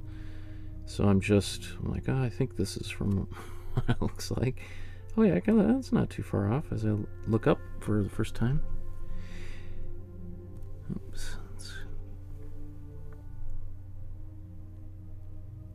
I mean, as I'm doing this, I'm I am just barely touching the surface of this canvas, right?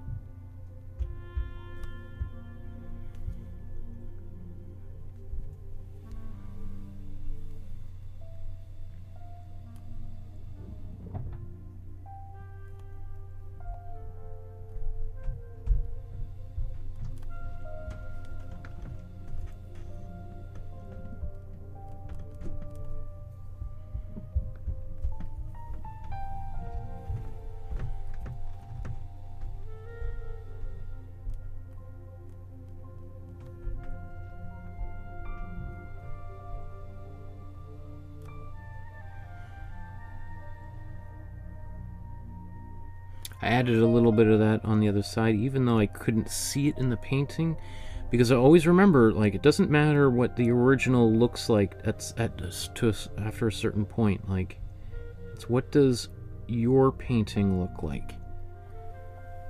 And if it's if people look at me like, oh, looks like you missed something on the other side, you're like, oh no no no, it's not there in the original. Like, ah, uh huh, yeah, well, it still looks a little funny. Right? I don't want that. I want it to, to just sort of people not to have to even think about little details like that.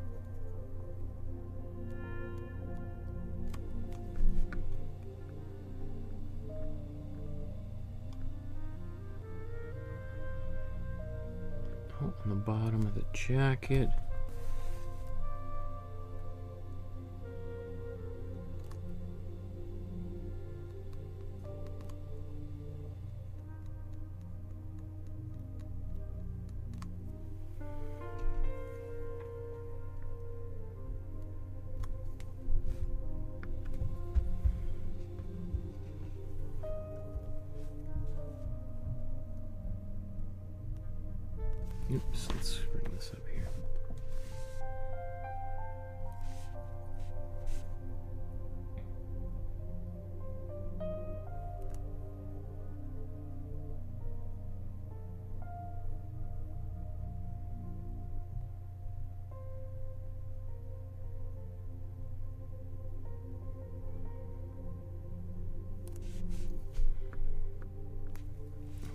This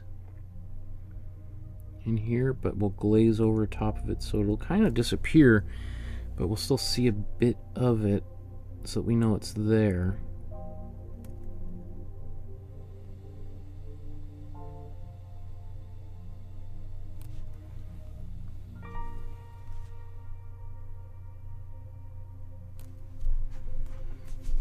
Do we have any of this? Oh, we got little bits on the shoes as well here.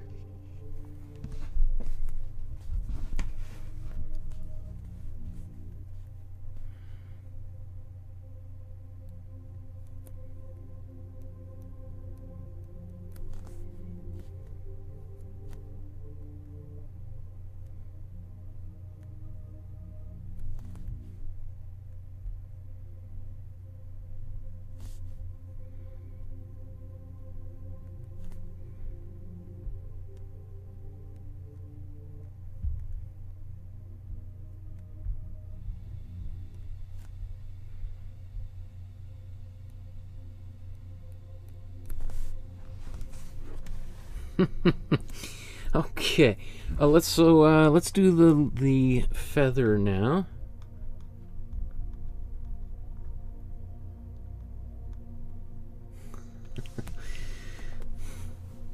um, you guys are very sweet. All these comments in there.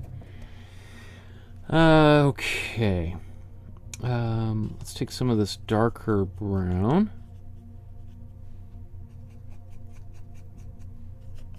Get a bit of white. Oops, sorry.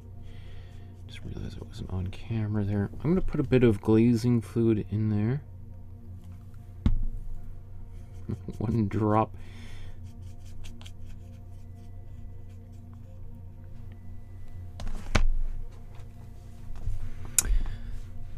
And how we do this? Um, looks like we're kind of curving up. Maybe I'll draw the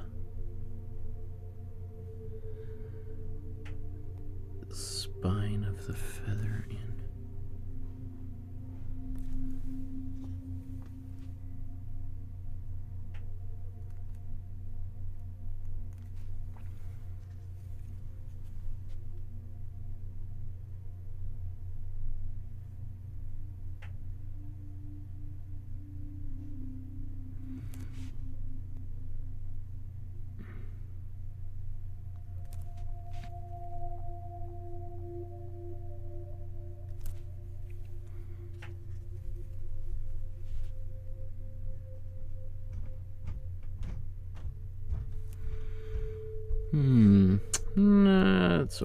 Guess, but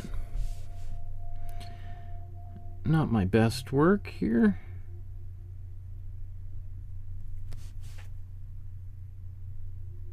But the painting's not over, right? So.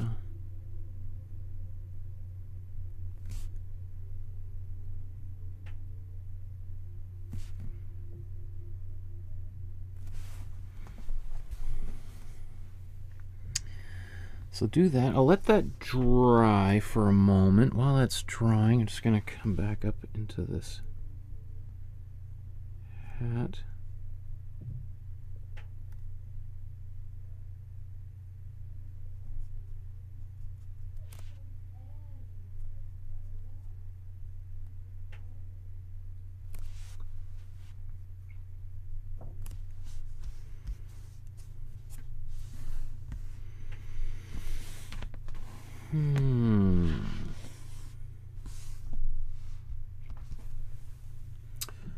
Well, let me just think. Like, let's say if I was to try to finish it off in the next, like, 10 minutes, what should I do here? Because I gotta get our daughter bathed, oops, pretty soon here.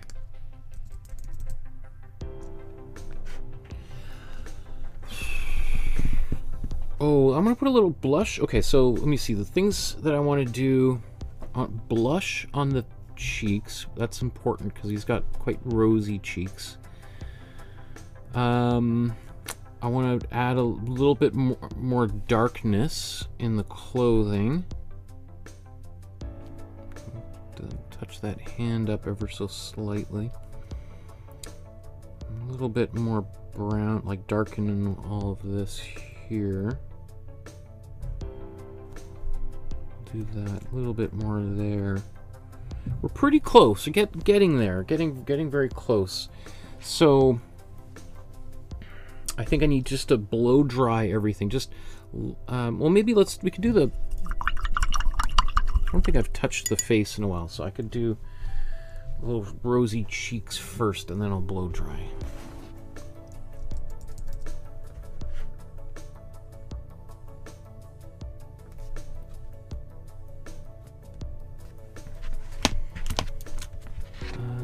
So let's, I'm going to take my red here. I don't got a lot of room, but we don't need much. I'm just to take a little drop of glazing fluid here.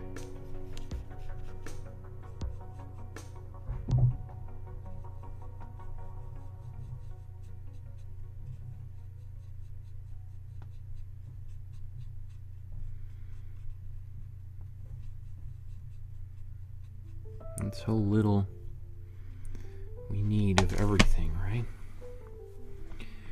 Fact, just to see. Okay, it's going to be very subtle, but that's what we want, right?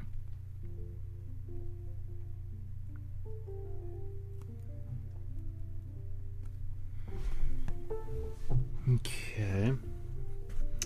I think my brush was a little, as I was mixing, I'm like, I think this brush is a little bit wet.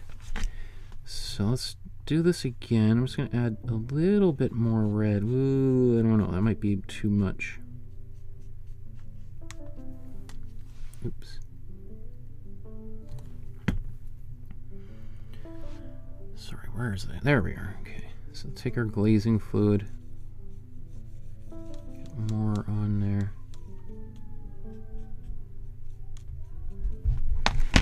We can always brush it away if it's too much.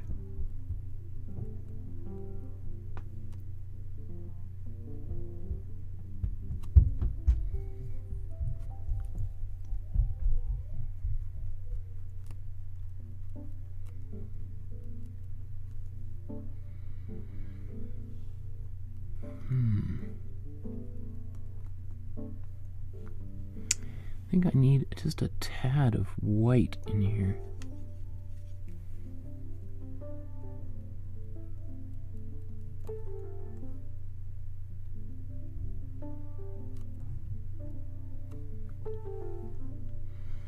There, you can see it now kind of appearing.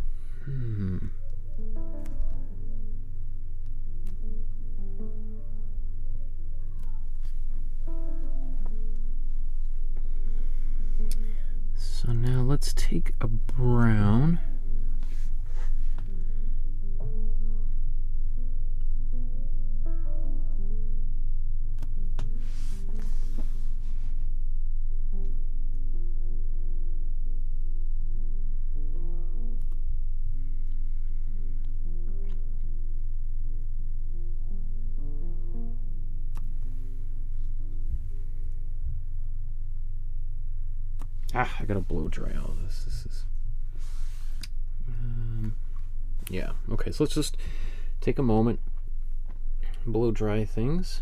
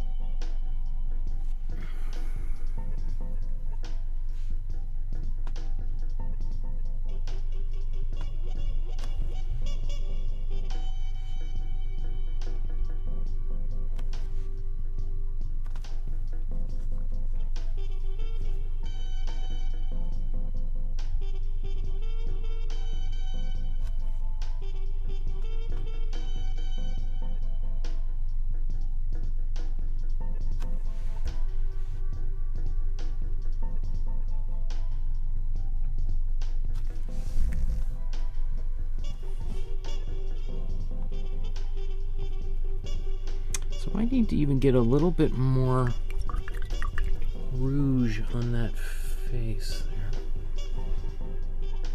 Okay, just gotta make sure that brush nice and dry.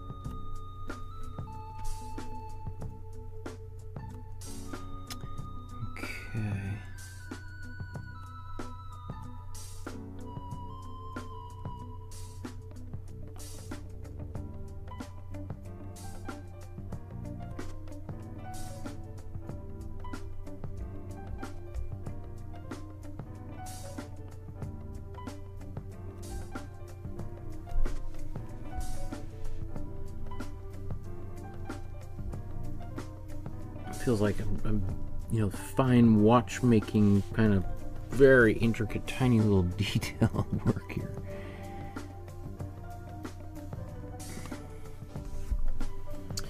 Um, okay, I think the rest of that can be done with glazes just to kind of darken it down. It looks more rougey, in, in I think, on my side of things than it might otherwise. So now yeah, I was gonna blow dry all of this, so let's do just that. Did I do that recently? I can't remember.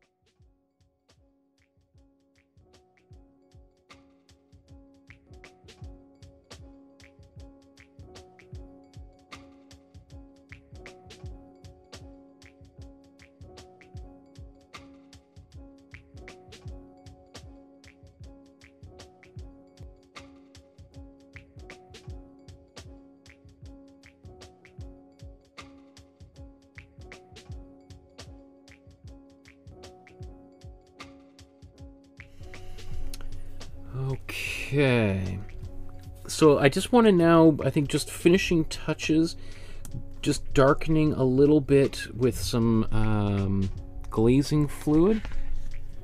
So I'll just use this big patch of dark, kind of, I'm not sure even sure, where did that go? Whew. Dripping glazing fluid all over the place. Let's take a smaller brush.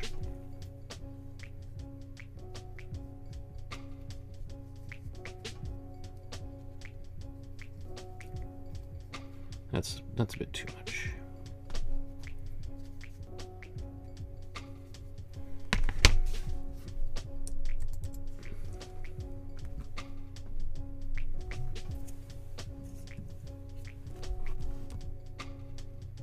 Hmm. Look at the hair just kept getting bigger and bigger on that head. Ah, Okay, well, it is what it is, right?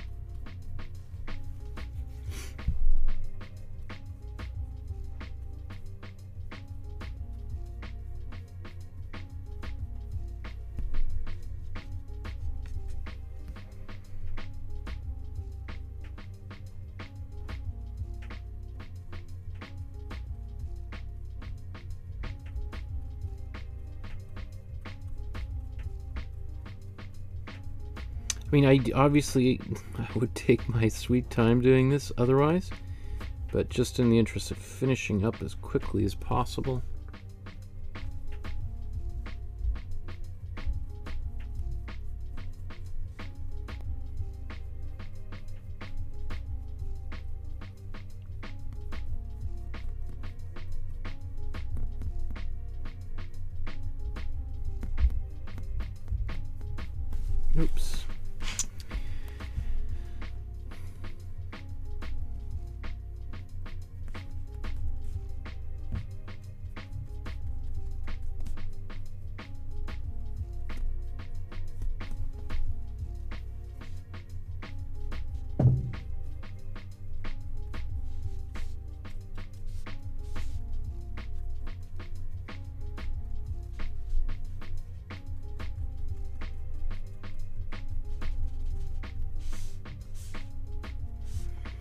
It's all pushing the, these darker colors more and more and more.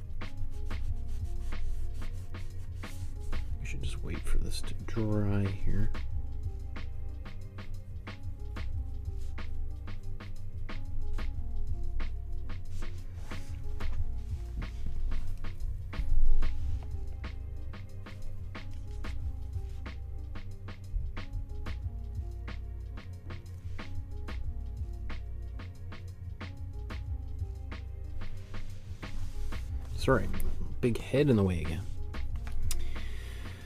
Um.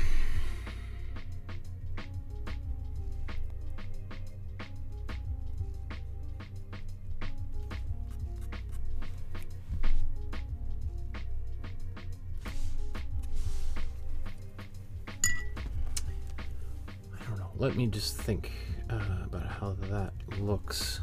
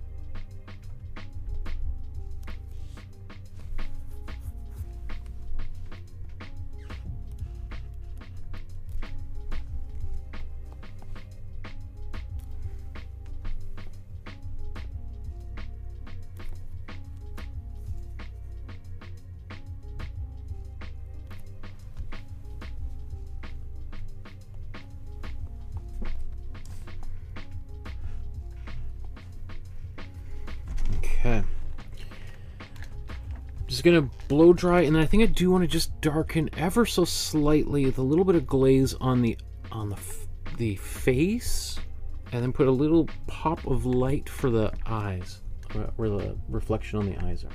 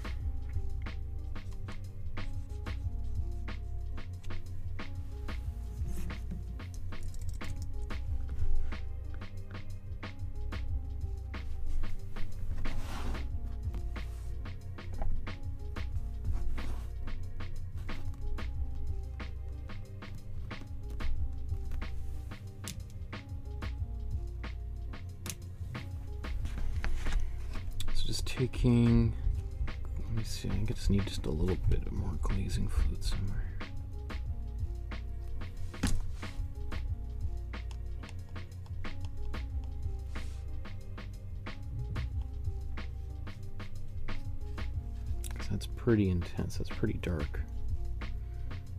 So just take it and just see. Be good enough. That might be a little intense, but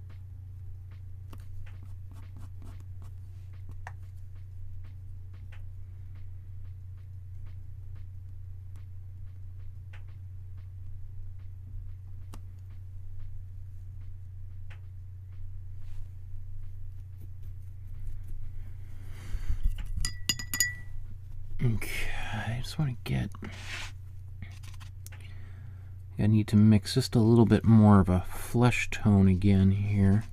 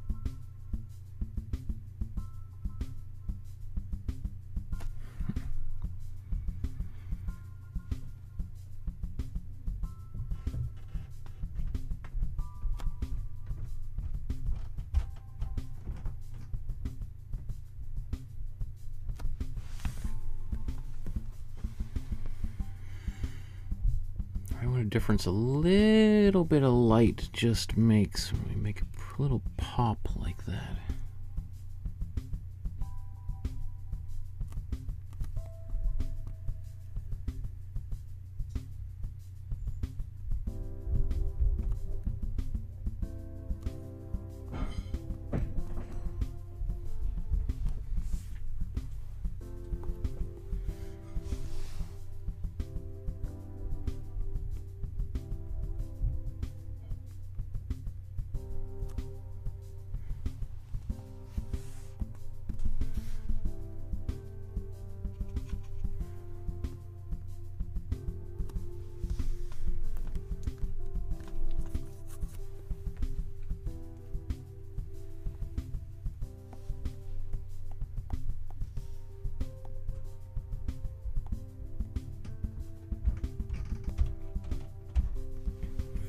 Okay.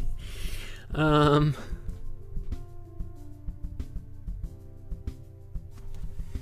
Yeah. Let's just take a look at these side by side.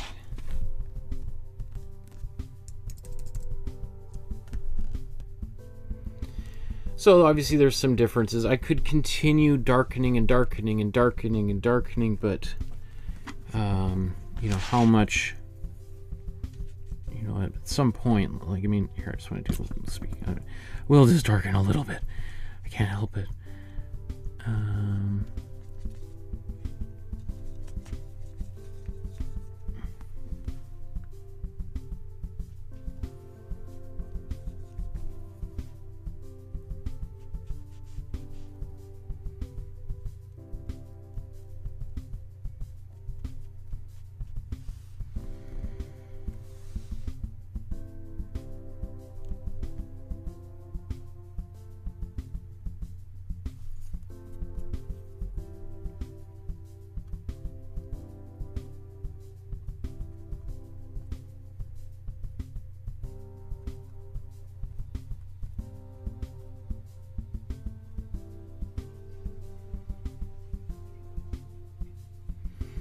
Mostly just because the majority of time like especially like my students where whenever i'm teaching often a lot of them will really neglect to go dark so that's why i'm always a little bit loath just to kind of just end before i'm gone really as dark as I could go, but I think a painting like this, we need the more and more contrast, the better it'll get.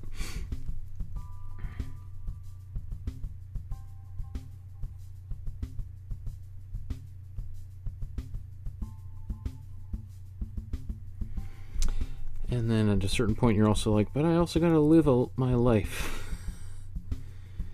So, oops,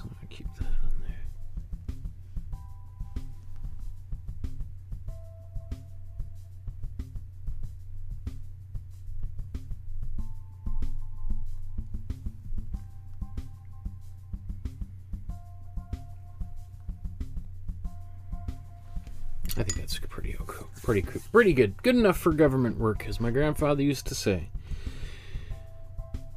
Uh, right, or do I need to do just a tad more down here?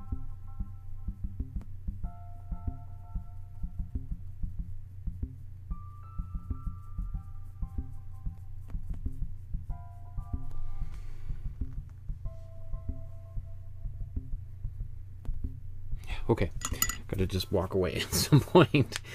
Um, okay, I'm I'm pretty happy with the way that looks.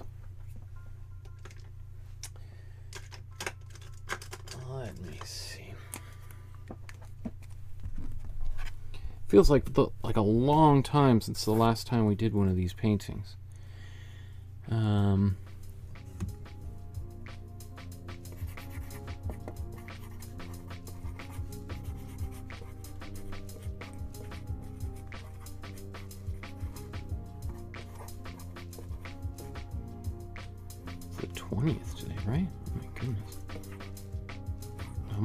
22, 2000 and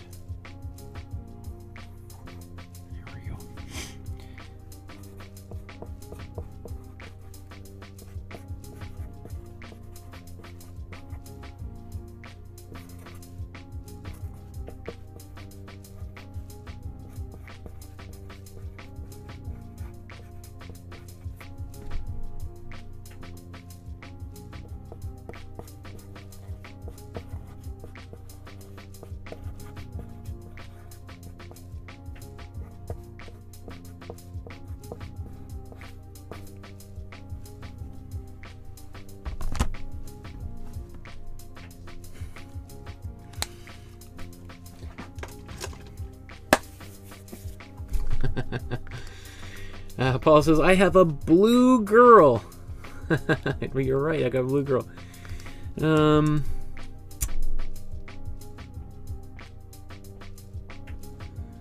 wow, cool. Great. Thanks for all the comments in the chat there, everybody. Okay. So please like, subscribe to the channel if you want to contribute to the show. If you feel it was worth a buck, you can certainly leave a dollar by using the PayPal description. You could send a check or e-transfer by contacting me through the Facebook or my website. All those links are down in the description below. On Tuesday, we're going to continue on our beginners uh, journey through the acrylic palette and understanding how these colors work. So if you're like, whoa, this is way over my head, don't worry, don't worry. On Tuesdays for the next few months, we're painting very simple, simple paintings. And on Thursdays, we're painting a little bit more advanced paintings. I believe next Thursday, we're going to be painting a painting by Roy Lichtenstein, the famous pop artist. And we're going to be beginning the countdown to the most expensive painting of all time. And so I think we're mm, Roy Lichtenstein's painting is number 40, I think. And we're talking a painting about a painting that sold for over 120 million dollars.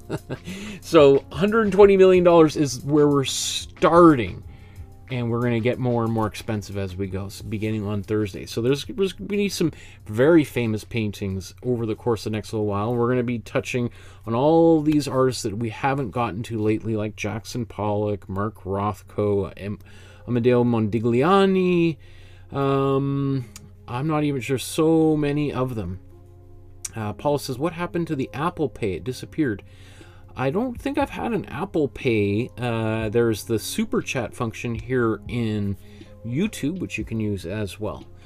Um, okay, Thank you so much, everyone. Enjoy the rest of your evening, morning, wherever you are on planet Earth. We'll see you guys in a couple of days. And until then, upload your version of this, and then we're going to get together and look at all the incredible work you've done over the course of the next couple weeks. Not sure when that'll be, but we'll see you soon, everybody. Good night.